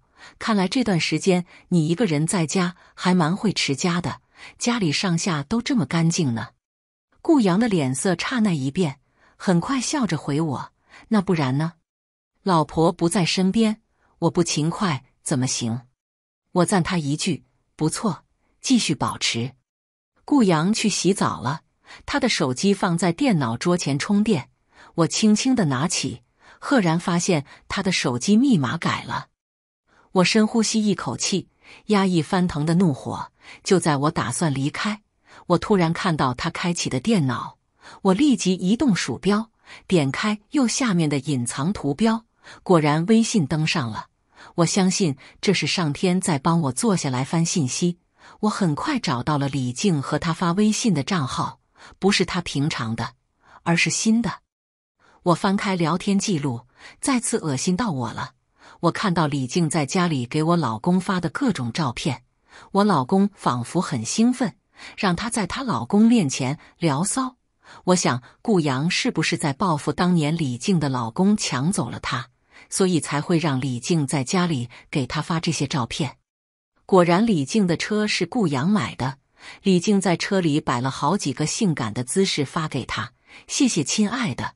叫老公，顾阳说：“谢谢老公。”李静完全不知羞耻为何物。我一段一段的拍下来，然后我立即翻看顾阳的银行账号。我翻到了一条信息，在上个星期三，顾阳向李静转账，支出人民币二十八万元。我冷笑，果然大方，全款买的呀。我刚想放下手机时，一条信息进来了，我并没有点开。但我看到了一句话：“杨哥，我有了，你要这个宝宝吗？”我看着这个卡通女性头像，我的脑袋轰然而炸。顾阳出轨的对象不止李静，他还有小四。我只感胃里一阵翻涌，到底顾阳背着我玩了多少女人？我的婚姻充满了欺骗和背叛，真是悲哀之极。有了李静在前。看着这个明显年纪还小的女孩，我只有一声冷笑，已经不足为奇了。我依然拍下一组照片，我刚准备关机，又一条信息冒了出来：“杨哥，上次那批违规材料用上了，应该不会出问题吧？”我这心不安呐，我的心猛地一惊。顾阳在工程上使用违规材料，这就是他能赚更多钱的方式。就在这时，我听见浴室那边停了水声，我立即把他的手机放回原位，出来大厅看电视。我面色冷静，追着我平常追的爱情剧，但脑海里全是顾阳在工地上使用违规材料的事情。我想，现在顾阳只是幸运没有出事，如果他真得哪一天出事了，我和他绑在一起，我铁定要跟着他一起倒大霉。到时候连我的钱都要搭进去。顾阳洗澡出来，他进书房里去了。我想他肯定看到信息了，但他冷静的像是没事人一样，出来就问我要不要吃什么。我让他随便点。我假装累回房间。我在房间踱步，我突然觉得我根本不了解顾阳，也不知道他胆子有多大，在外面干了多少违法事件。我知道。我不能再等了，我必须立即和顾阳离婚，在这个家里拿到属于我的一半财产。我不想为顾阳任何犯罪行为负责。对于离婚，我决定速战速决了。晚上，我以想独自休息为由睡客房。我翻着刚才偷拍下来的一长串聊天记录，看着李静在顾阳面前如何骂她的老公是废物，骂她不知上进。抱怨她的婆婆不带孩子，我心想，要是她老公看到这些聊天记录，不知会怎么想。我第二天就带着所有证据见了律师，我的证据充分，加上出轨视频，他建议我向法院起诉，并且向法院申请男方资金调查令，调取顾阳的资金出入和支出情况。我中午去了法院，下午我就去找李静的老公。他现在调入市里一个代办处工作，找他不麻烦。李静的老公叫李杰文，他早已经不是五年前帅气的样子，他已经步入中年油腻的形态。他看到我有些惊讶，认出我来了，有时间吗？我有点事情要和你说。我问他，他惊讶我为什么找他。我和他出来附近一间奶茶店，这会儿没什么人。我朝他道：“加一下微信，我有东西发给你。”他倒是爽快。我们互加了微信后，我就把李静和顾阳的聊天记录全发给了他，并且还有那天他们在我家里长达一个小时的视频。我看着他愤怒的眼神，我同样痛苦。我抬头看着他，告诉我已经起诉离婚了，并且也告诉他李静买的那辆 Q 三是我老公转账给他的二十八万。这次离婚我会以夫妻共有财产起诉他。归还这笔钱。我在李杰文那斯文眼镜后看到了他的痛苦和愤怒，看到他快要爆发的崩溃。那些聊天记录里，李静把他贬得一文不值，把我老公夸得不行。是的，男人都忍不了。我回到车里等着我的手机响，我料到第一个打电话给我的是李静。我看着手机平静的接起：“喂，林林，对不起。”我不该插足你的婚姻，我向你道歉，能不能别把事情闹大？李静哽咽的声音恳求着我道歉。在你和顾阳睡觉的时候，你不是很开心吗？要不要我把你们在我床上的视频朋友圈发一遍？我冷嘲：“琳琳，对不起，对不起，一切都是我的错，我对不起你，我保证不再和顾阳来往。”我当然不相信他。但我也没有准备发朋友圈，这种丑事对我也没有好处。那端沉默了几秒，在你嫁给顾阳之前，我们曾经交往过。李静主动朝我交代，那你就更无耻了。你把你睡过的男人介绍给我，你是想说我在捡你不要的吗？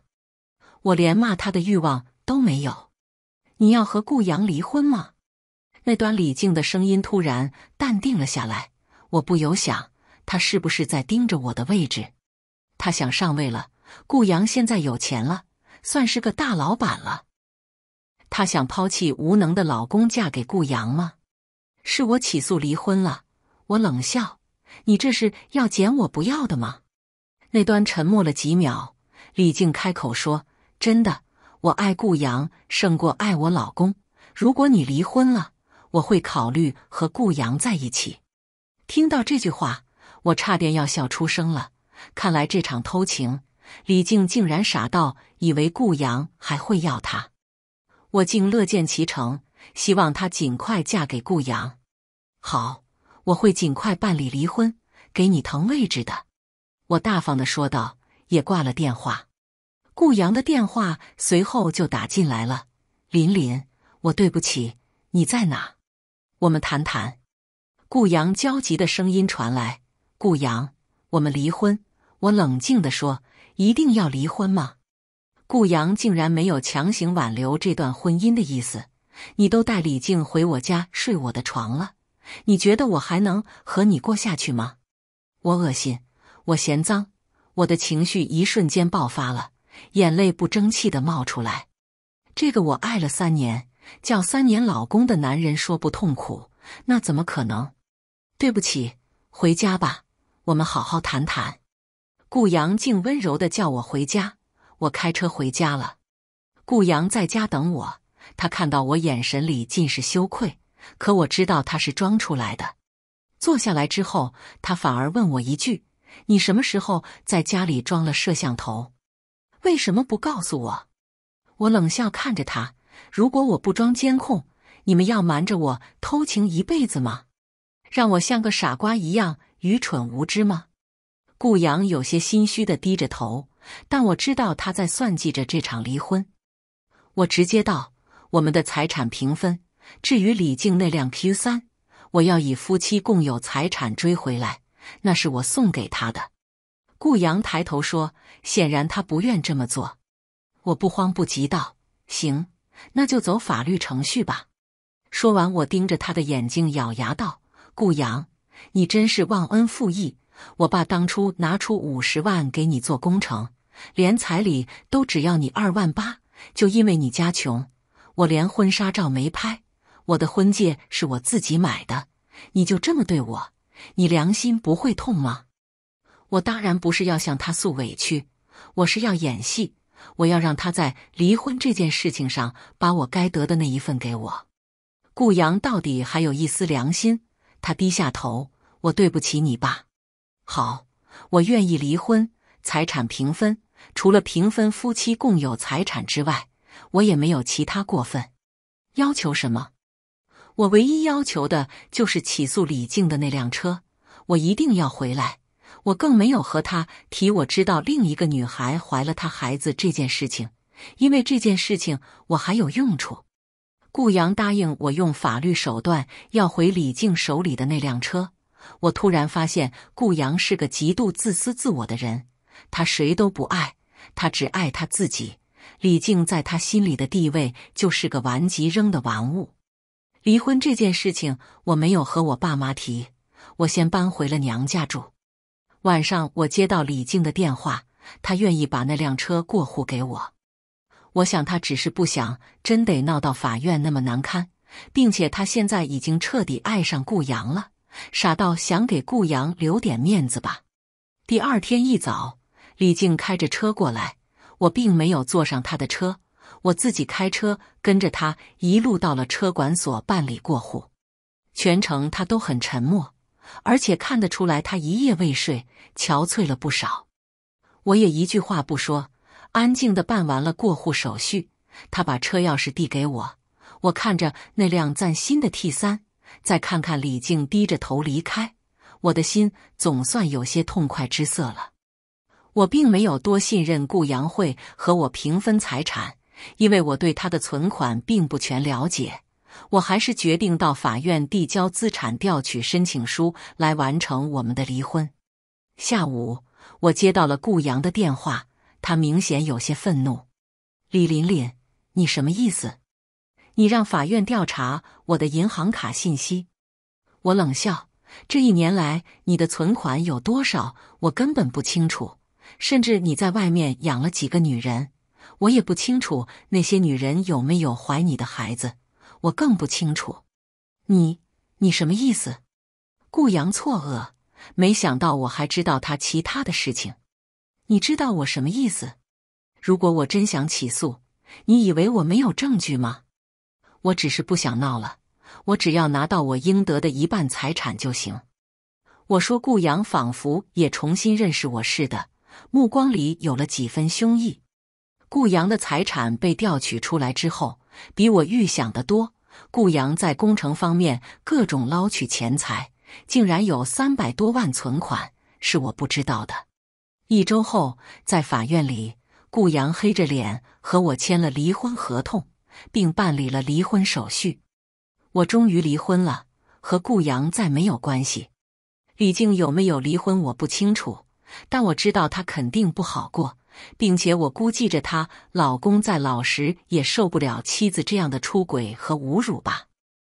我抽了一个空去她老公的工作单位，假装要办事，然后我看见她老公的位置坐着另一个人。我朝一个挺热情的工作人员询问：“吴杰文不上班吗？”他辞职回省城了。他告诉我，我的心底一乐，然后试探的问一句：“他是不是离婚了呀？”这位工作人员看我一眼：“你是他朋友吗？”“我是他妻子的朋友。”我答了一句。工作人员复杂的看我一眼：“离没离？你该问他老婆呀。”我在工作人员这语气和眼神里看出来了。看来吴杰文和李静离婚的事情，连单位都有所耳闻了。我爸妈虽不理解我为什么突然离婚，但他们并没有劝我挽回。只是发愁我以后该怎么办。我虽然痛失一段婚姻，但和顾阳离婚是我很明智的一场选择。顾阳虽然还能再赚钱，但我知道他这种工程风险太大，并且他已经在违法的道路上了。我相信报应肯定会来的。离婚一周后，我正在上班，突然李静打来电话。我原本不想接的，可还是想听听他要说什么。我接起那段集，传来李静的声音：“琳琳，你知道顾阳在哪里吗？”他问他在哪里，你应该比我更清楚。我冷笑，这一个星期我都打不通他的电话。他没出什么事，李静竟然来我这里关心顾阳，真是笑话。我还没有说什么，李静突然又道：“我怀孕了，孩子是他的，快两个月了。”我听完只敢报应不爽。我嘲讽道：“你怎么知道孩子是不是他的？就是他的，我确定。”李静很坚决道：“我想顾阳正在忙着一件事情。”我故意调他胃口道：“他在忙什么？”李静急问：“我一会发给你吧。”说完，我挂断他的电话，把上次拍下来的照片发给了他。我想，没有比此刻更适合发个消息给他的时机了。我真没想到，李静竟然为顾阳怀上孩子。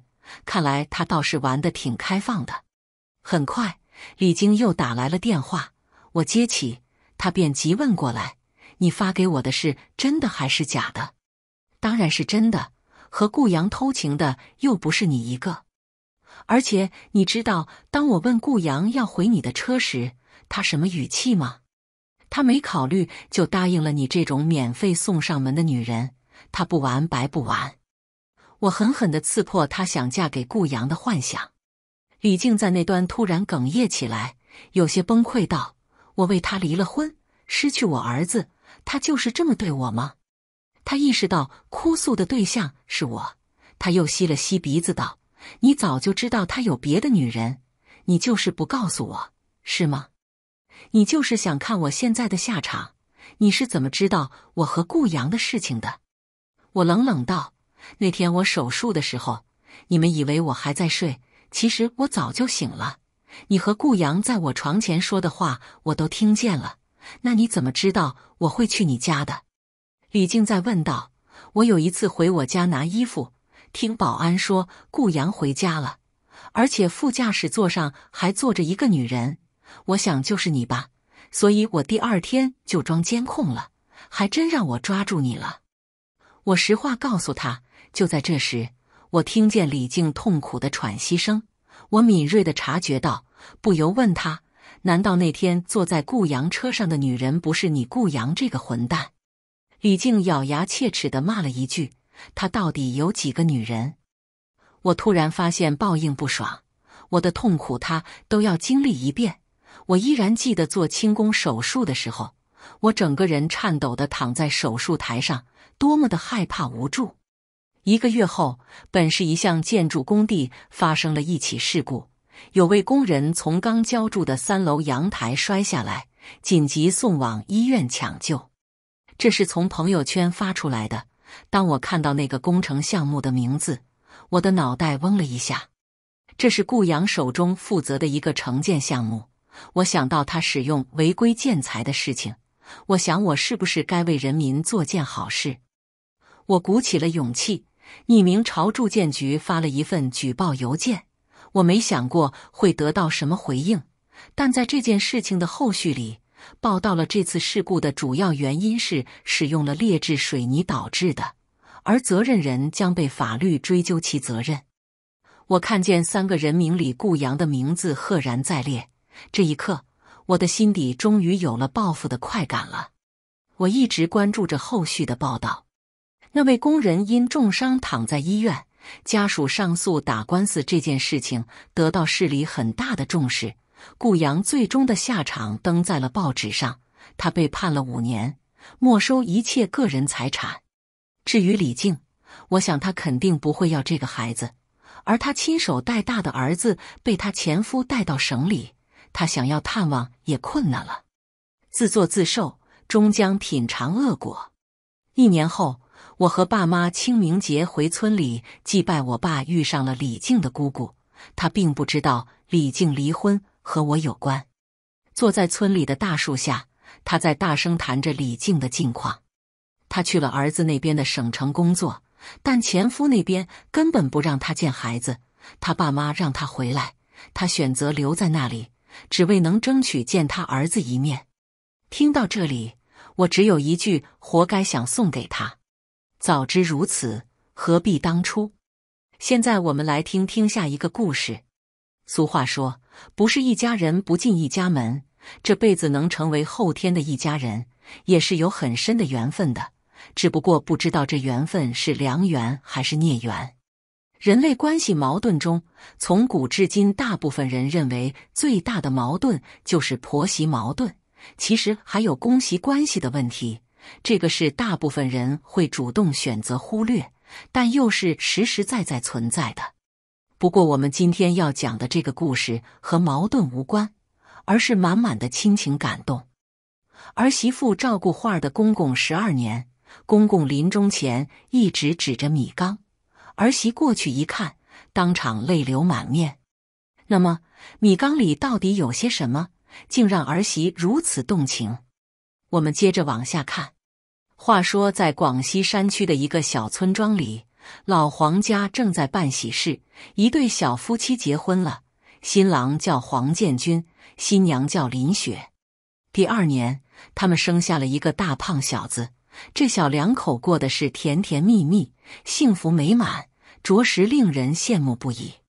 经过几年的拼搏，他们在县城里买了一套房子，一家子就搬到了城里住，把公公婆婆也接过来一起生活。林雪和黄建军结婚有五年多了。黄建军是在建筑工地上工作的，是个小包工头，每月的收入不算少。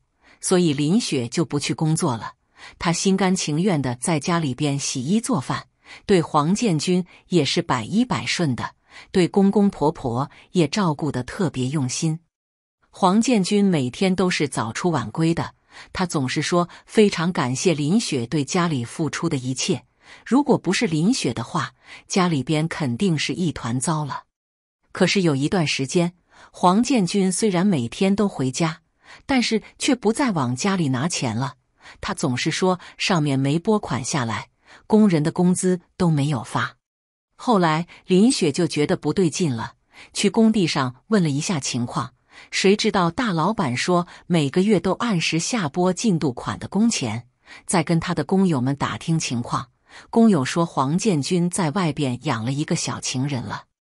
林雪到家之后，并没跟公婆说。虽然他心里很气愤，但是他想的还是要等着黄建军回来，再询问到底有没有这种情况。晚上，黄建军回来之后，林雪就问黄建军说：“老公，这段时间你都没带钱回来，是不是在外面有人了？”黄建军怎么可能承认这种事呢？他一口否定。当时公公婆婆也在家里，公公生气的批评了黄建军。说你守着这么好的媳妇还不满意，在外边养小情人，你知道你在干什么吗？你不想要这个家了，你把我们的脸都丢尽了，你这不孝子，赶紧给我滚！谁也没想到，当时黄建军真的就收拾了东西离家出走了。之后，林雪就一个人照顾孩子和公公婆婆，她找了一份工作，白天就去上班挣钱养家。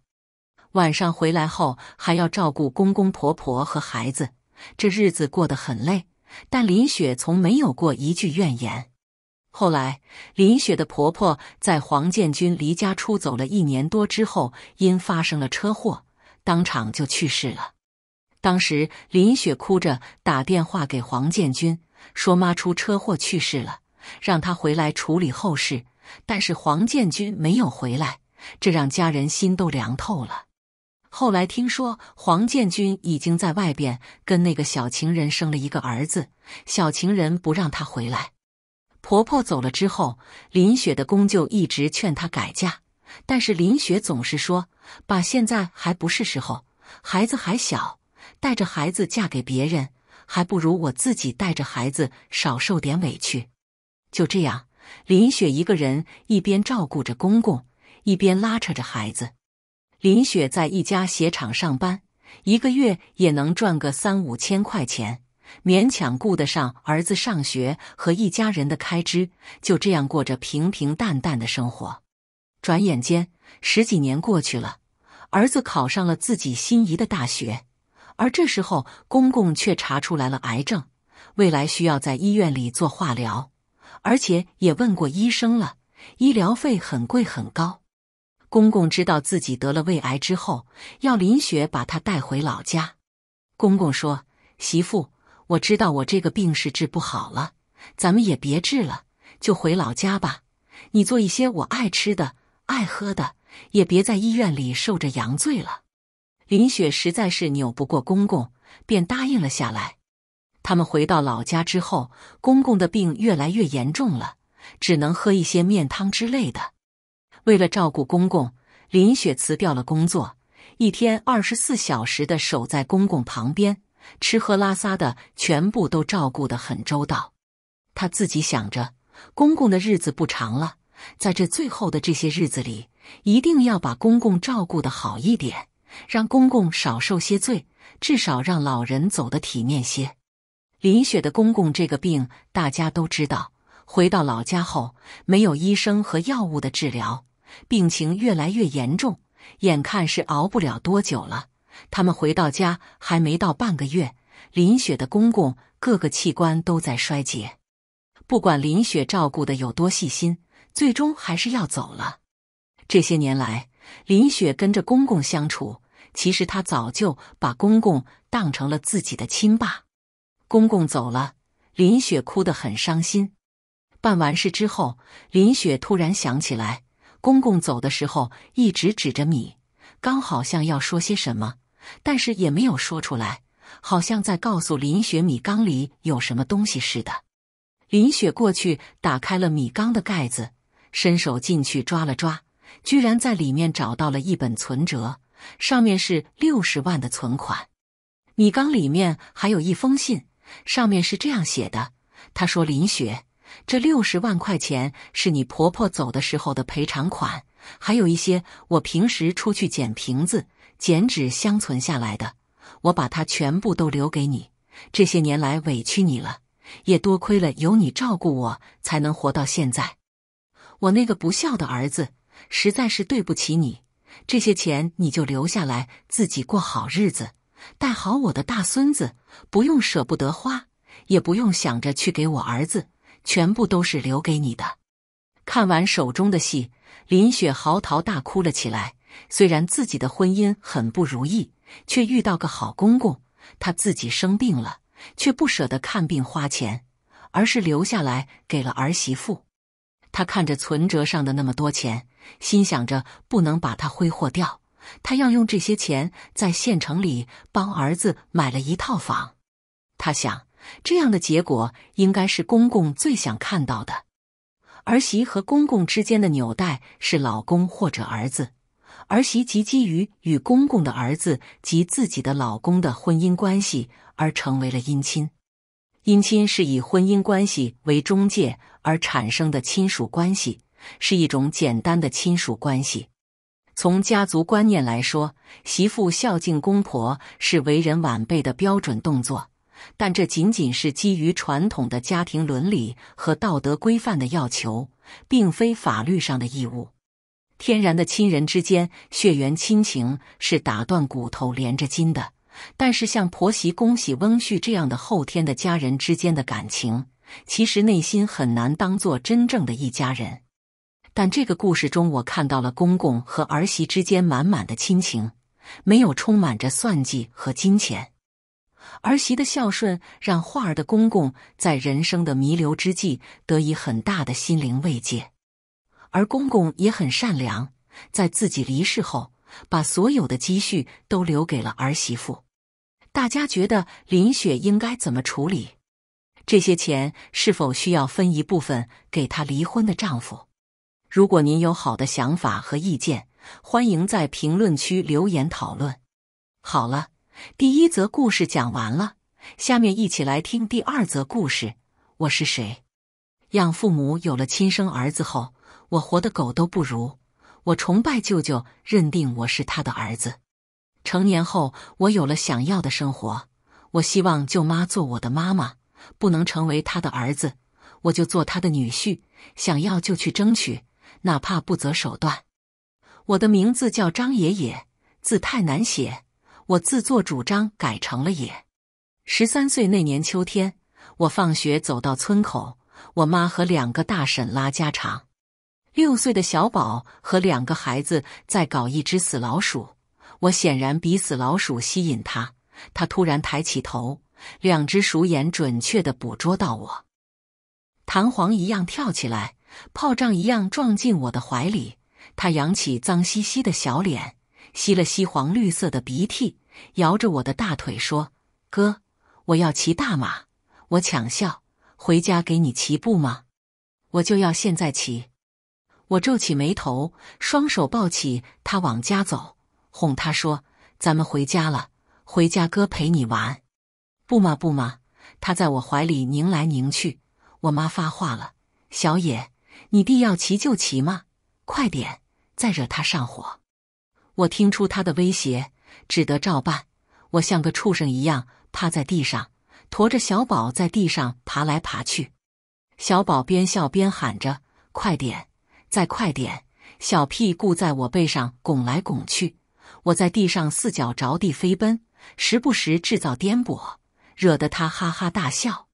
几个大孩子跑过来看热闹，其中三个是我的同班同学，他们奸笑肆意嘲弄：“那不是张野吗？怎么跟条狗一样？他对他弟可真挺好，他敢不好？你没看上回老师请他爸来学校？”他爸当着全班同学的面扇他耳光，我怒火中烧，疼的站起来，小宝应声摔到地上，哇的大哭出声。我惹祸了。我头脑中闪现着我爸冲我挥皮带，我妈掐我大腿的画面。我妈已经抱起了小宝，焦急的呼喊着他的名字，查看他头上的伤势。我害怕极了，只想逃跑。唯一能救我的，只有舅舅答应过我。他会供我读高中、读大学，再不用看父母的脸色。我求求他，他一定会帮我。我搭了村里去镇上的车，从镇上坐车去城里，没有赶上末班车，步行一个多小时走到舅舅家。他们家住在老小区，不梯楼，没有电梯。我爬到五楼时已浑身冒汗，饿得眼花头晕。开门的是我舅妈。咦？小野，快进来！他高兴地拉我进屋。我脱下沾满泥巴的鞋子，赤脚走进来。房子很旧，非常干净整洁、温暖。我自觉去卫生间冲洗，一身的臭气。舅妈贴心地为我拿来舅舅干净的白衬衫。乔，小野穿你的衣服挺精神的，就是有点大。舅妈笑着说：“他们正在吃饭，桌子上摆着十道菜。”还有一整块生日蛋糕，舅舅说：“你来的正好，小琼过生日，一起吃饭。”我坐在桌前，贪婪的望着一桌子美味佳肴，自然的接过舅妈给我盛的饭，大口吃起来。舅妈和舅舅说笑着，我听不清楚。我一直在吃，太好吃了，红烧肉太香了，红色的大虾我连壳一起嚼。手抓羊排，我吃了两根。接下来的时间，我已经不知道往嘴里塞了什么，也感觉不到身边有人吃到了忘我的境界。直到小琼哭出来，我才意识到我闯祸了。我未经允许吃掉了一整个生日蛋糕，狼狈的满脸都是奶油。小琼，听话，妈妈再给你买。别哭，哥哥饿了。小琼的哭声太大。舅舅怕我窘迫，抱他到房间。黎红，我都做了什么？我想请舅舅收留我，想要请他跟我妈说情话，没说出来，已经在难说出口。我搞砸了小琼的生日宴，吃光了所有的食物。我看着桌子上一片狼藉，又愧疚又委屈。舅妈递给我雪白的毛巾，安慰我说：“没事儿，你肯定是饿坏了。”我用毛巾捂着脸。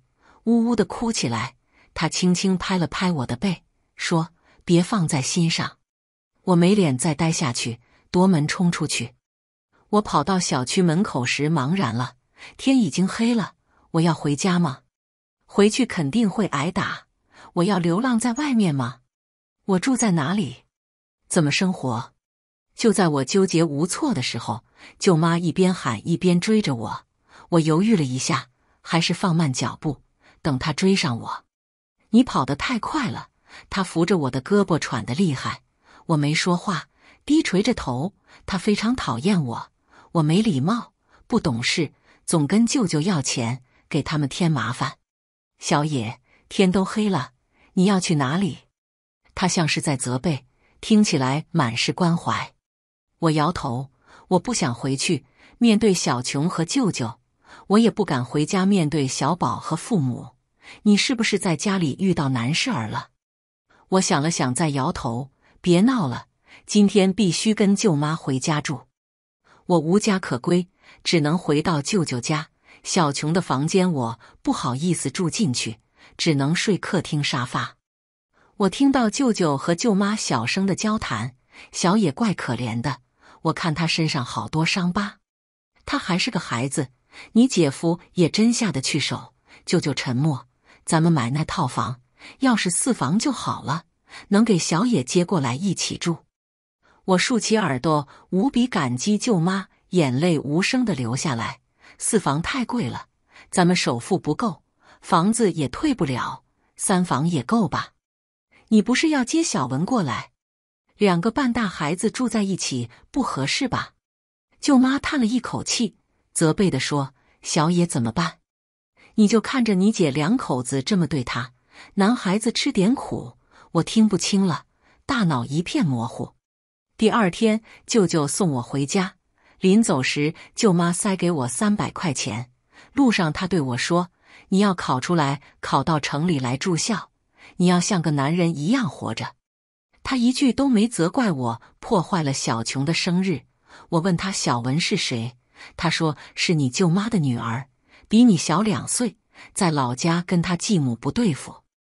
我猜想那个女孩也跟我一样受虐待，有点同情她。小宝的头磕了个大包，从此以后他学习不好都要赖在我头上，我要养活他一辈子才能赎罪。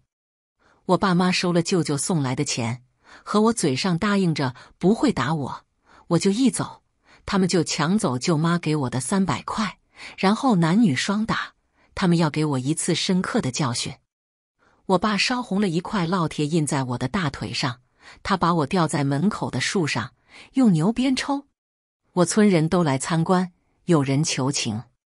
我妈抱着小宝解释说：“小孩子不懂事，跟畜生一样就得打，不长记性。他们打累了回屋睡觉，留我一个人面对寒冷的黑夜。那是我最绝望的一夜。我忍受着透骨的寒冷，屈辱啃噬着我的心。我的眼泪和鼻涕干在脸上，紧巴巴的。”我真想快点死去，不用再面对村人的嘲笑和怜悯，不用再面对残忍的父母。后半夜，我妈放我下来，迷迷糊糊中，我听到我爸说：“冻死他得了。”我妈说：“留着他以后有大用。”无边的恨渗透进我的骨髓，会有一天你会后悔加注在我身上的痛苦。从那以后，我不再想着住到舅舅家。因为有另一个女孩更需要住进他们家。我是男人，我不怕吃苦。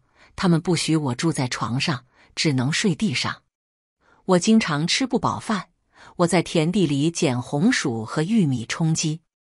我想过离家出走，又惦记着舅舅说过的话。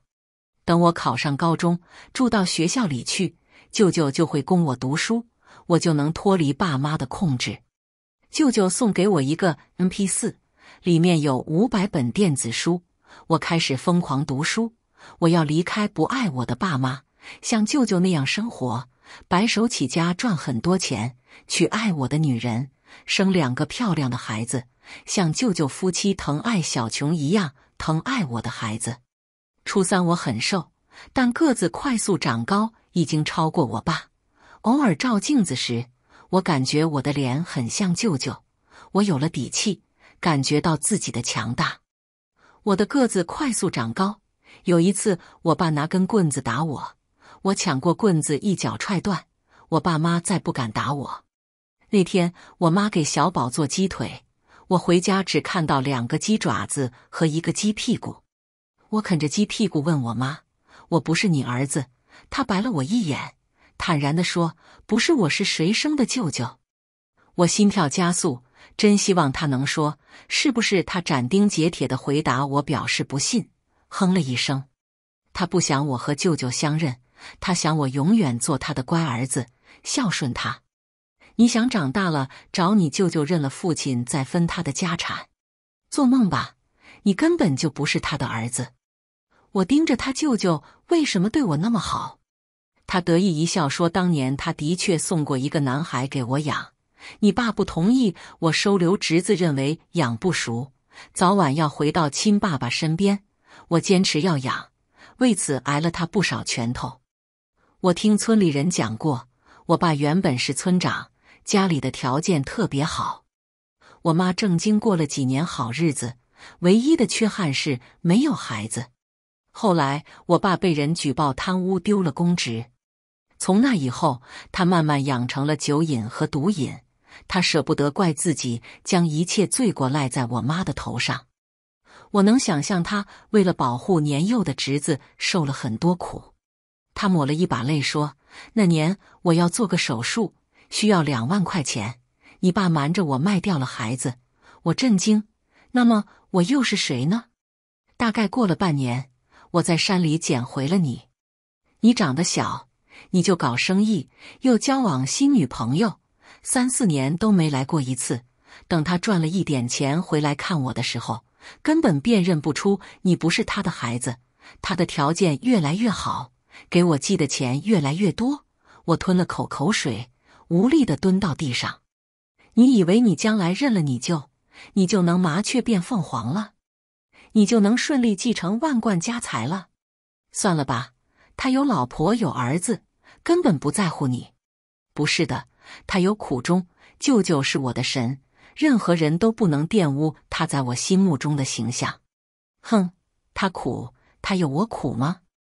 你也别想认你那有钱的爹，我一句话就能揭穿你，你就乖乖做我一辈子的儿子。我再不想听他说话，我绝不像他那样活着。我起身想走，你跑什么？我救了你一条命。没有我喂水喂药，你别想活下来，你就该当牛做马报答我。他手里载的水瓢啪的扔进缸里，像是一锤定音。我跑出房子，奔向空旷的田地。我不干，我不想再过狗一样的日子。我想活出人样。我要自由，我要地位，我要尊严。凭什么我就不配有人爱？我对着麦田大喊：“我是谁？我要爸爸。”我要妈妈，我要快活。一夜失眠，我想明白了。我对我妈说：“你最好对我好一点，我有能力了会帮你照顾小宝。你再虐待我，我就整小宝。”我的威胁很管用，我爸仍旧对我恶言恶语。我妈提供给我的伙食好了许多，至少能够我吃饱。我屏蔽掉我不是舅舅的儿子的事实，我相信我就是他的儿子。我和他的小儿子刘琼、继女李文同样享有继承权。等我考上大学，就会融入舅舅的家庭，成为他们家不可或缺的一员。我跟我妈说，等我继承了家产，会分给小宝一三，到时候你和小宝就吃穿不愁了。其实我不过是缓兵之计，我不会分给他们一毛钱，我恨不得他们一辈子受穷受苦。我以高于区分数线两分的成绩考入县一中，舅舅没有食言，为我缴纳了全部费用。暑假，我去舅舅的新家做客，他家已搬到新小区，一百二十平的三房客厅特别大，家里一如既往的干净整洁。我终于见到了小文，她是个清清爽爽的女孩，她见了我就撇嘴，一脸嫌弃。我窘迫的满脸通红。不安的揪着衣襟，舅妈瞪他一眼，笑着招呼我给我拿水果。我看着雪白的沙发，不敢坐上去，只肯坐餐厅木质椅子。舅妈看小文悠闲的没事在客厅看电视嗑瓜子，她没好气儿的吩咐小文：“你陪你小爷买几件衣服。”小文白了他一眼，说：“现在谁还在商场买衣服？都在网上买。”你先陪他去商店买两套穿的，再到网上买。我还看电视呢。舅妈霸道的关掉电视，两手掐腰。现在就去。小文不情不愿，嘟着嘴回房间换衣服。我很过意不去，说：“舅妈，我自己去就行。舅妈面对我，很快变了一张笑脸，说：“没事，他都呆懒了，正好他也活动活动。”小文嫌我寒酸，不许我离他五米以内，要求我远远跟着他。他给我挑了两套品牌休闲装，要求我马上换上，然后带我剪了头发，买了鞋和袜子。我改头换面，他两手插兜端，想我半晌，舒了一口气。你可算像个人了。我被他看得红了脸，说花了好多钱呢。他嗤笑：“你以为我给你花钱呀？我回家要给我妈报账的，他还得给我辛苦费呢。”他带我去吃饭，怕我在新学校受歧视，教我生存之道。他说：“一定要多看多听少说，你什么都不说，人家摸不透你的心思，会高看你一眼。”即使你害怕什么都不懂，他们也不知道。就你这种乡巴佬，一说话，同学老师肯定瞧不起你。你要学林黛玉进贾府察言观色，以后你有不懂的就给我发微信。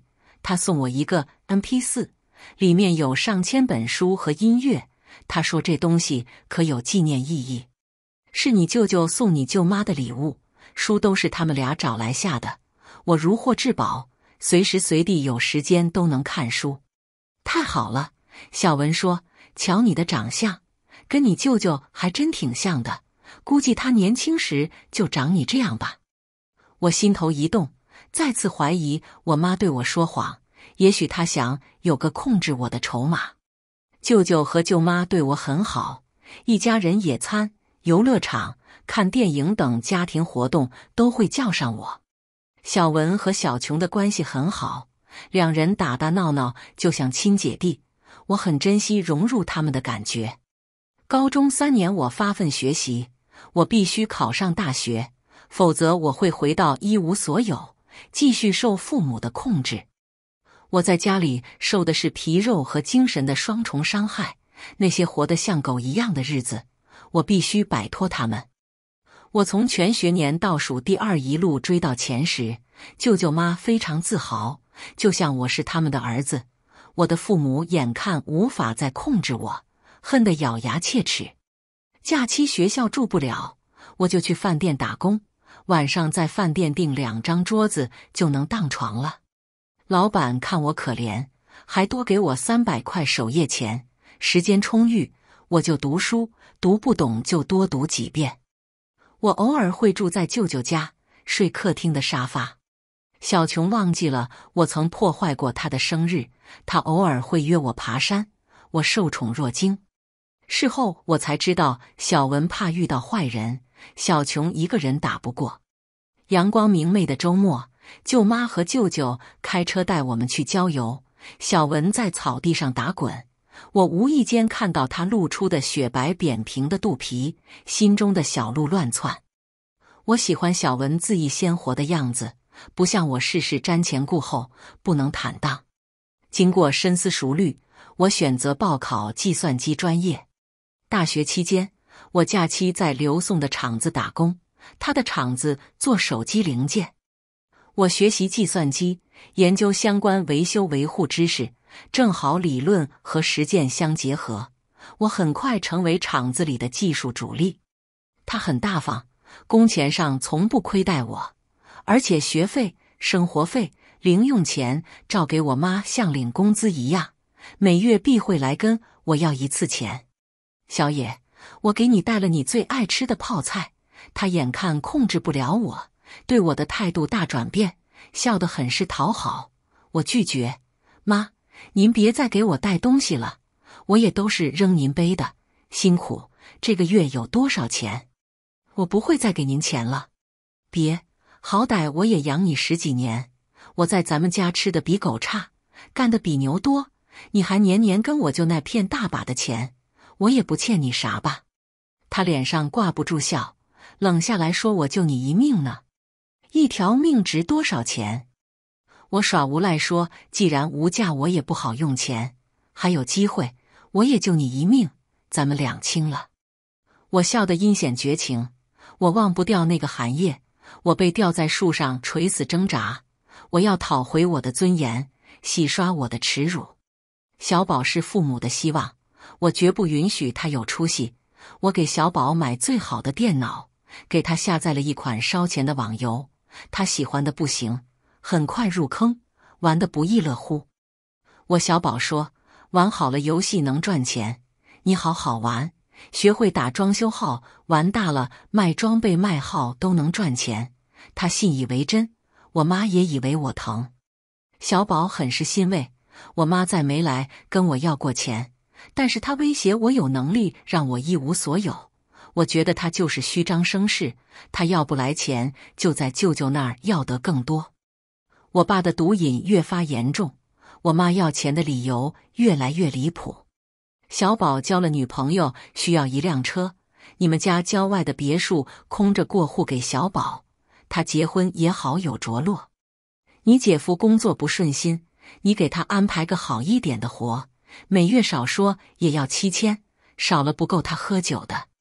舅舅满足不了他的要求，只好拿钱给他。开始我以为是舅舅善良，后来我猜测是因为我父亲抛弃了亲生儿子，任由姐夫虐待十几年不管不顾。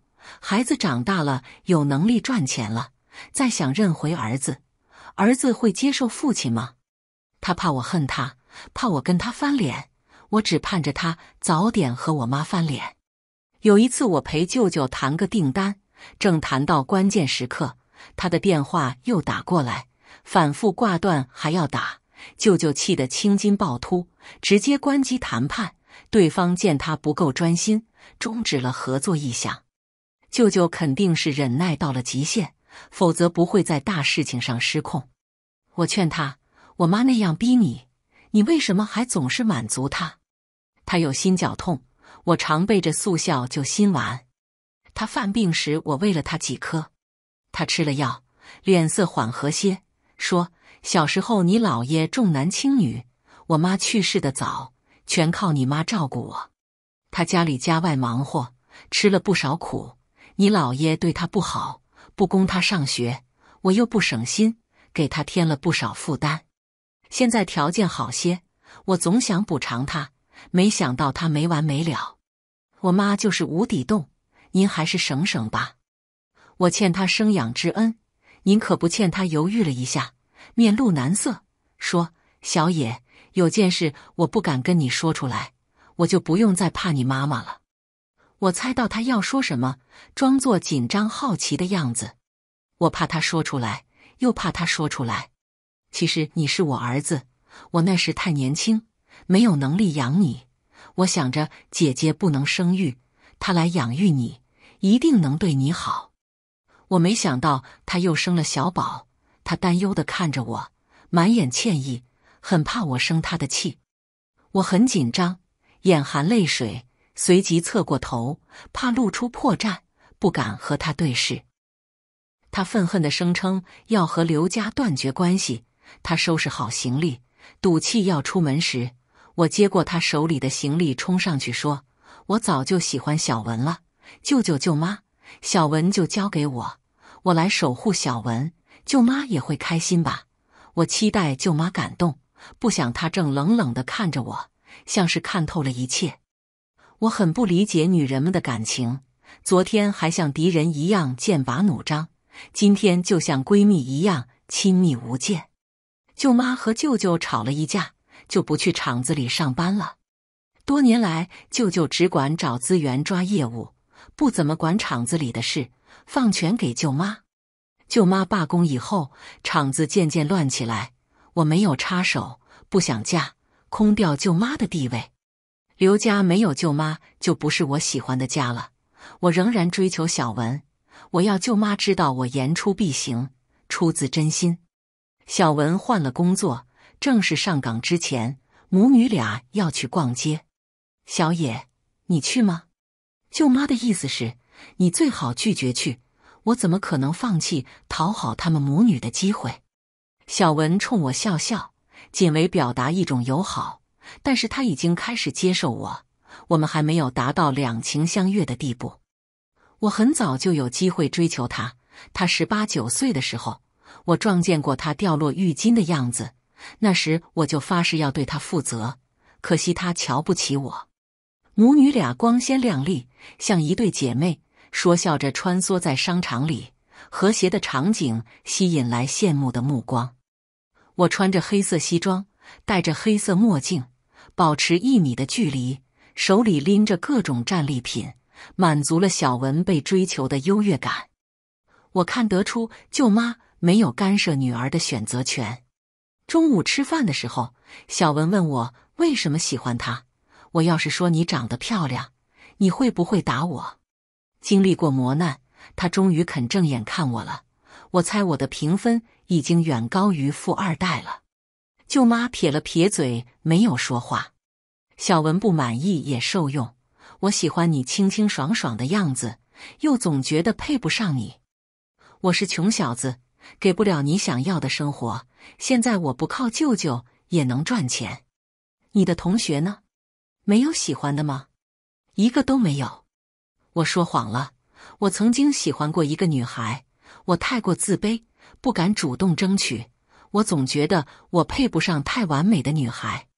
切！小文不屑的撇嘴，骗谁呢？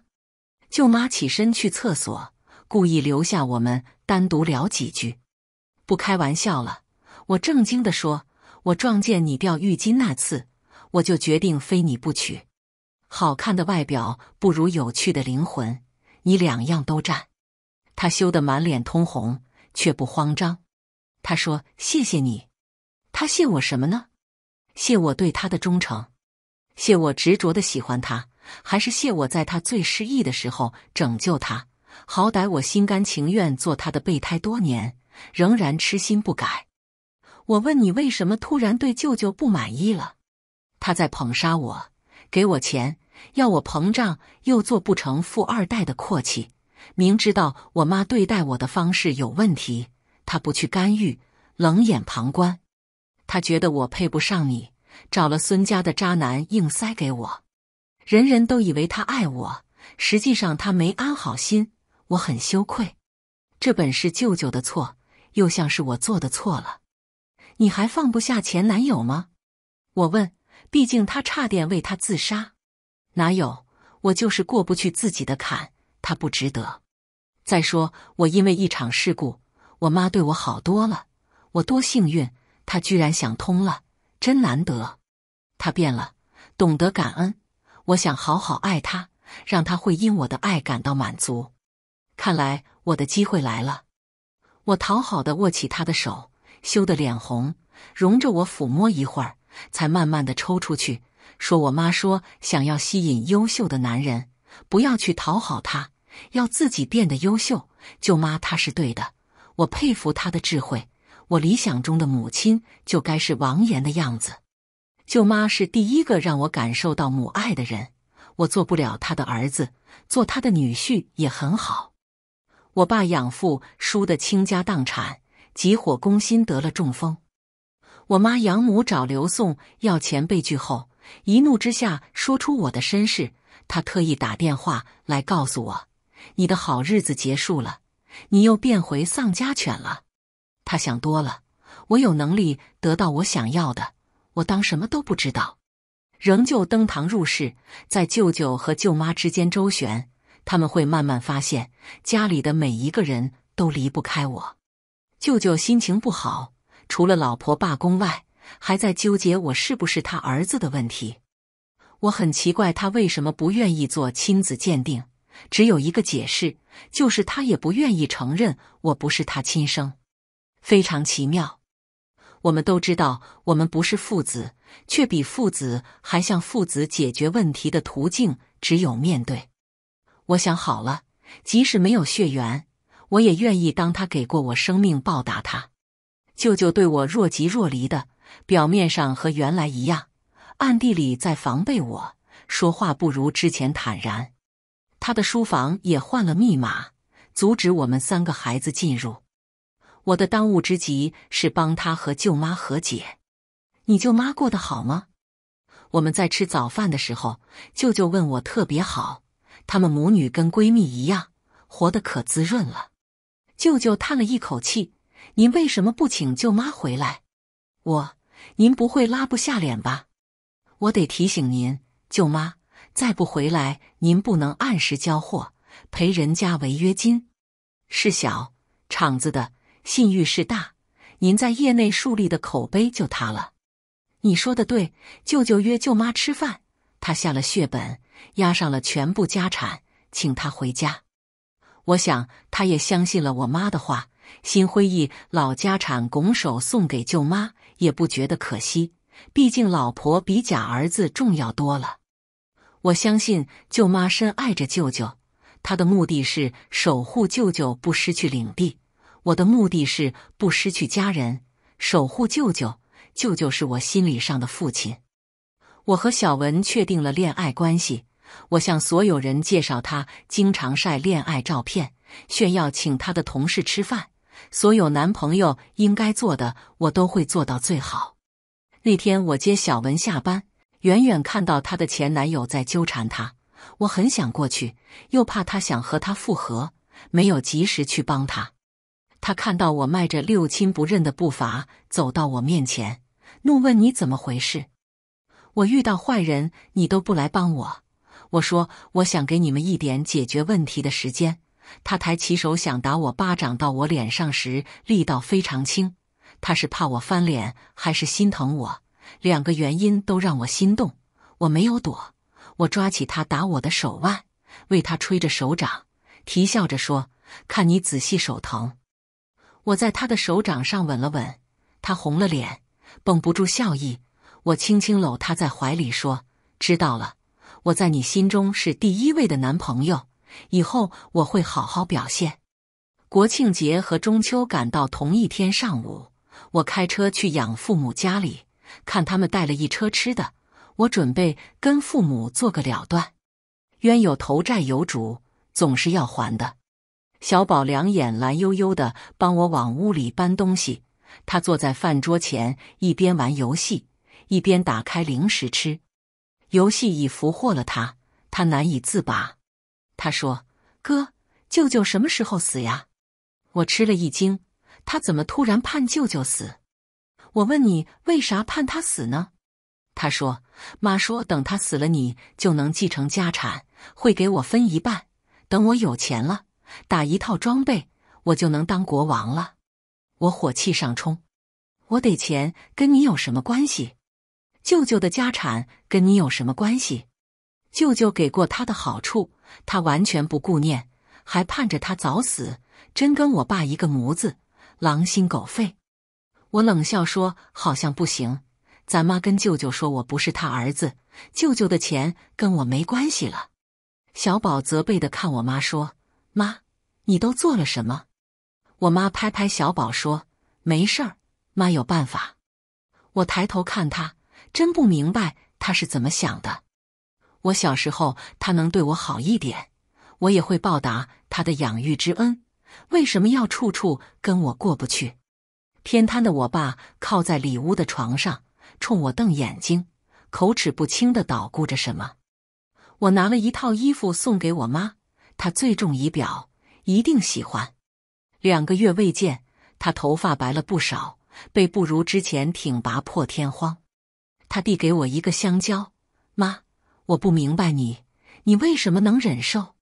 我爸不忍怎么办？他在掰玉米。我是专门来感谢您的。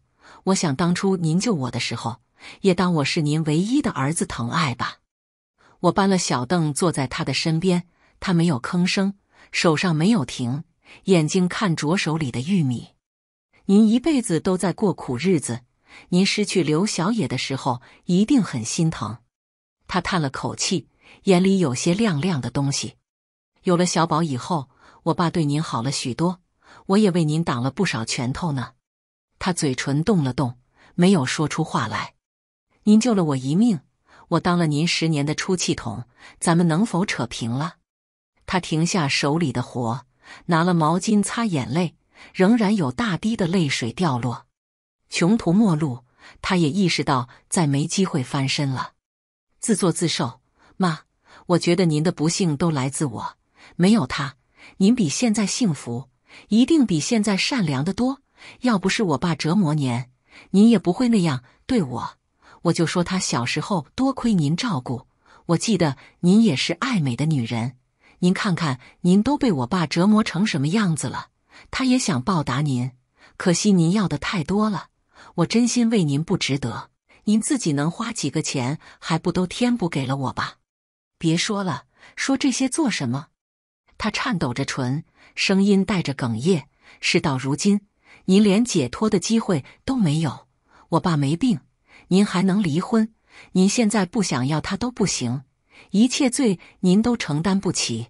您还不到五十岁，要受罪到什么时候？他不想再听我说了，慢慢站起来，步履蹒跚的走进厨房。祸害我的罪魁祸首是我爸，他的人生不得意全都发泄在我妈和我的身上。但凡他能活得像个男人，我妈也不会心灵扭曲。从小到大。我没有从我爸身上得到一丝温暖，他只盼着我早点死掉，没有一点怜悯他，必须为他的行为付出代价。我来到里屋，坐到养父的床上，削了一个苹果喂给他。我妈早就受够你了，没有你，她会比现在快活得多。你活着也是受罪，不如早点解脱，是不是？爸，我在他耳边说。他气得差点把苹果吐我脸上。他中风后智力也有下降，男人的尊严受到严重挑衅。可惜他再不能耀武扬威。我嘲讽的笑。他生气了。我好怕呀！要不是你病成这副德行，我真想让你也尝尝烙铁的滋味。他起身，拿起墙边的拐杖，哆哆嗦嗦的要打我。我趁机跑出去，开车扬长而去。他们必会迎来一场战争，不死也伤我回舅舅家里过节。近郊的一处别墅已经打理干净。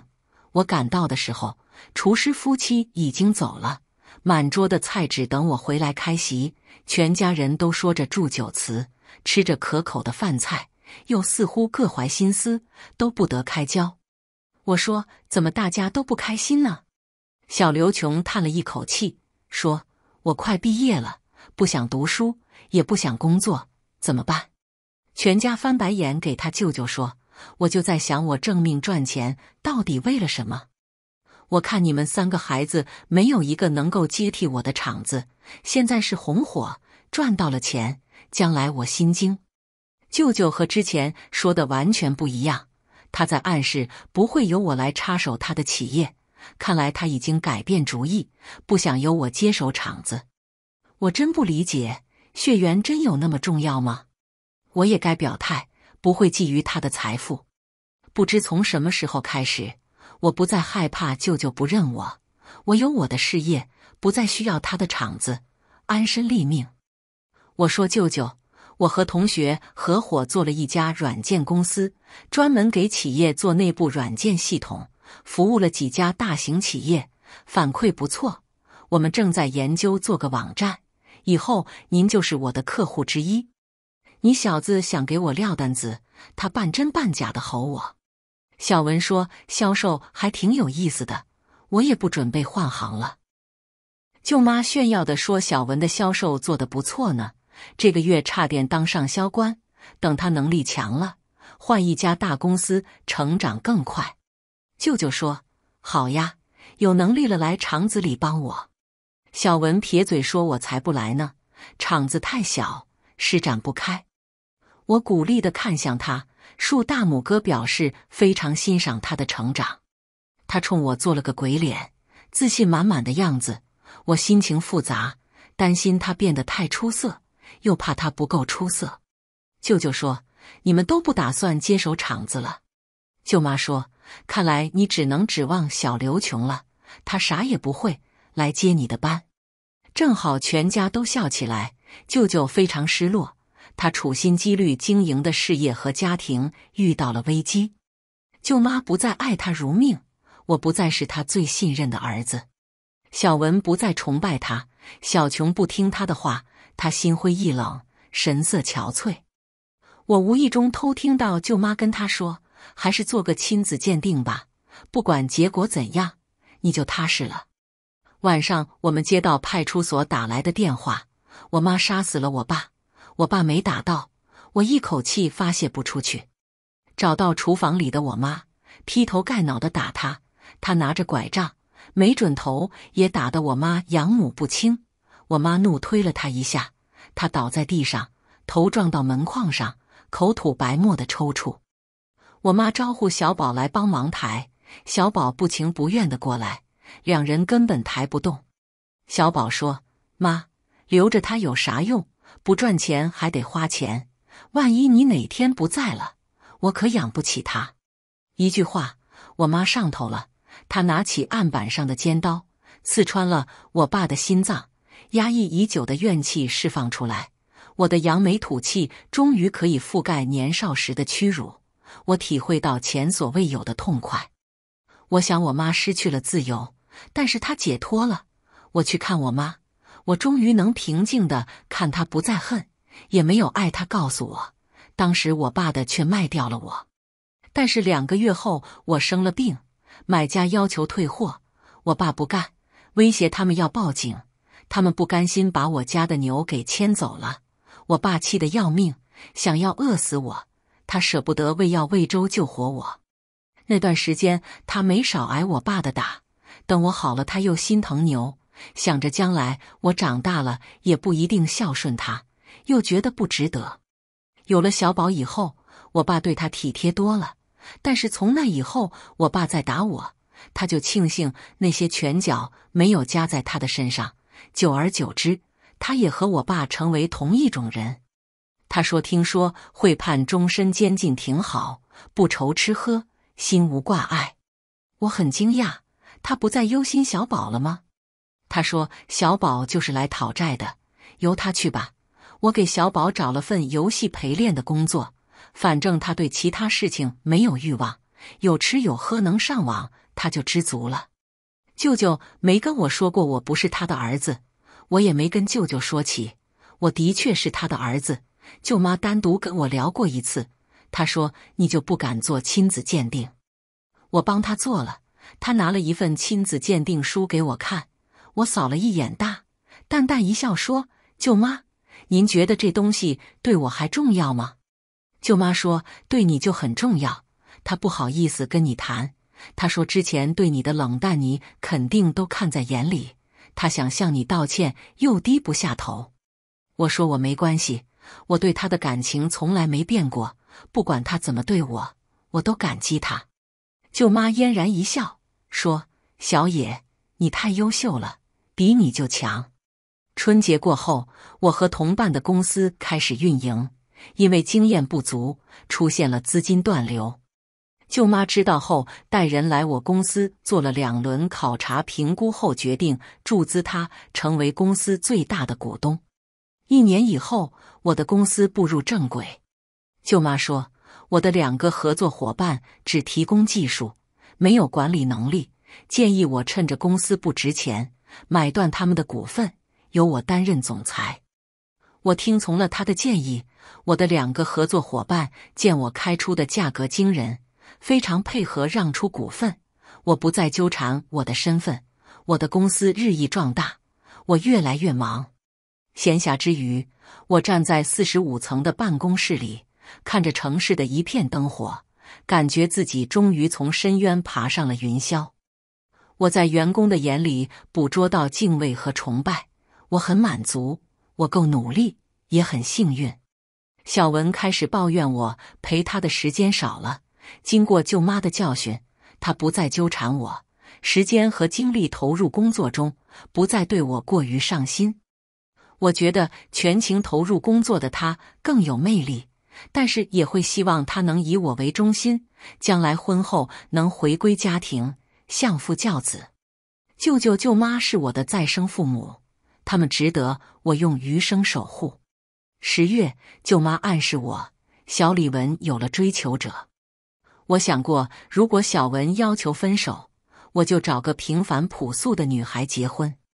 我感谢舅妈，她帮助我克服了自卑。不管小文做出什么样的决定，我都愿意支持他。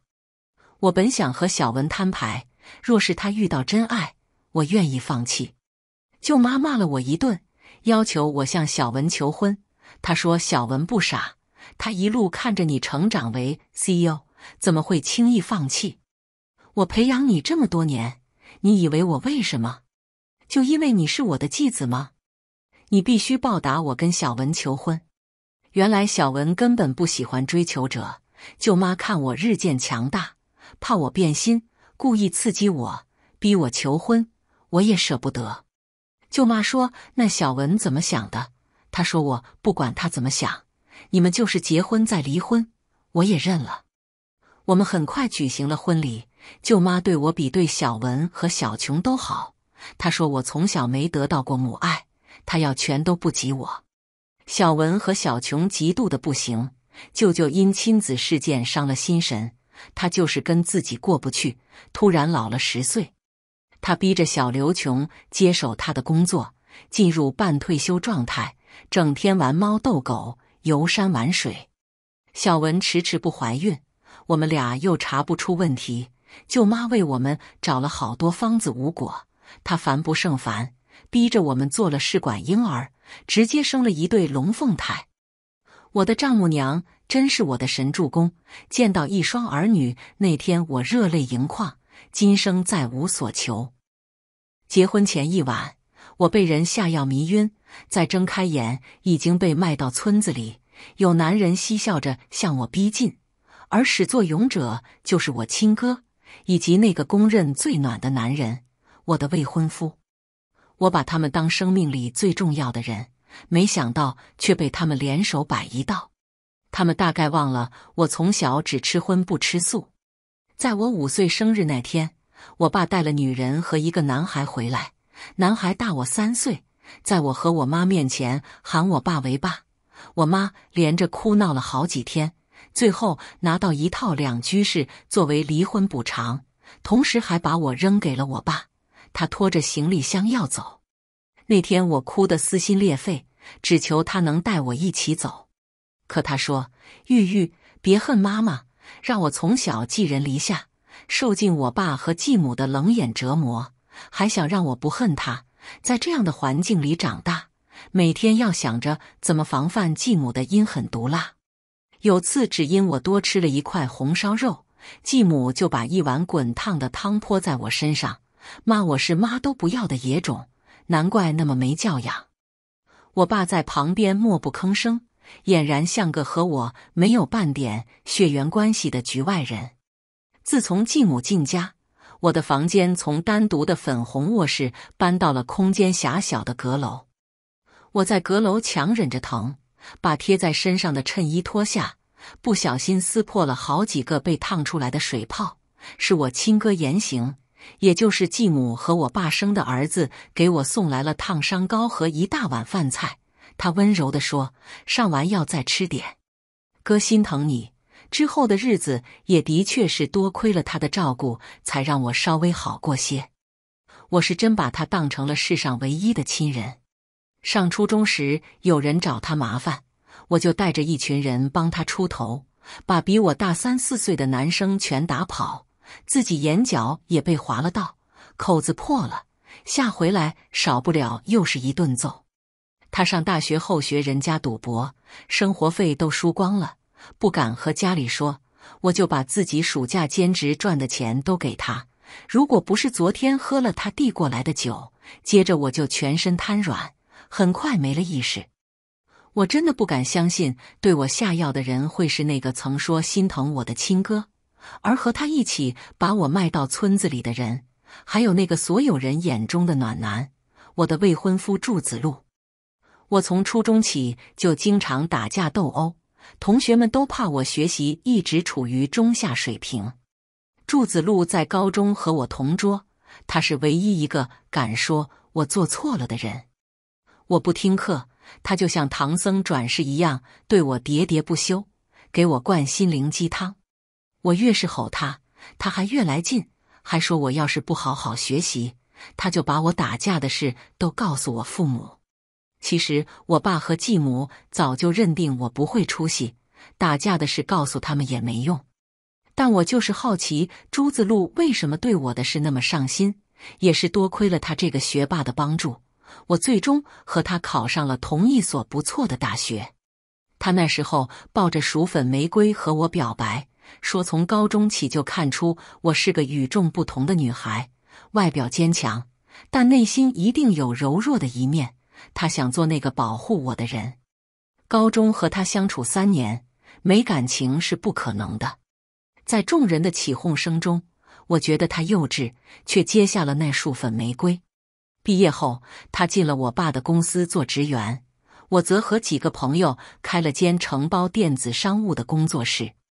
我以为事业和爱情双收，没想到在结婚前一晚被我哥叫去酒吧下药。迷晕朦胧中，我确定听到了祝子路的声音。他说：“颜玉，对不起，你别恨我。又是一个让我不要恨他的人。”也是在那一刻，我才知道，原来人昏迷后也是会心疼的，就像被锯齿一下下的割，割的血肉模糊，却叫不出声来。之后，我只知道被好几个男人架进了面包车。再次惊醒，只见一个身材肥硕的大叔坐在床前，粗糙的指腹摩擦过我眼角的疤痕。小姑娘长得挺俊呀，就是这道疤，可惜了。我想躲开他肮脏的手，才发现自己早被五花大绑，根本无法动弹，只能尝试恐吓他。我哥和我未婚夫只是把我暂时送到这，等他们办完事还要来接我的。你敢动我一个手指头，他们会让你好看。我当然知道他们敢把我送到这，就没想过让我回去，但我内心还是抱着一丝侥幸。大叔听完果然大笑，一脸不屑：“你就别做梦了，我花两千块就能把你买过来。他们临走前还千叮万嘱，别让你跑了，谁还会回来接你？”我无言以对，真没想到自己在这两个至亲心中只值两千块。我不懂自己到底哪里得罪了他们，竟让他们恨到想让我人间消失的地步。是因为祝子路不想娶我吗？可分明是他自己在露天广场弹着吉他，和我求婚的是我哥，怕我以后分家产吗？可是我早和他说过，等我有能力了，就会把抚养费还给我爸，从此和他们划清界限。到底是哪一点能让他们对我恨之入骨？如果眼前的大叔想对我下手，我就算不被绑着，也绝不是他的对手。但或许是上天可怜我，给我安排的丈夫竟是个形如枯槁的小男生。听说小男生在年初时突然病倒，算命先生提出了娶媳妇冲喜，大叔和他媳妇就挨家挨户的上门提亲，只是谁也不愿意把闺女嫁给一个年纪轻轻就卧床不起的小男生。大叔也没辙。才想到买媳妇这种损招。大叔的媳妇张婶抹了把泪：“小旭可怜，他是村里读书最厉害的孩子，老天真是不公，从小在压迫中长大。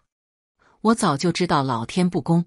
同样是我爸的孩子，我哥可以轻松拿走我的卧室，可以每月找家里要上万的零花钱，但我就只能睡阁楼，靠自己赚生活费。”如果埋怨老天，我恐怕早在那个家死一万次了。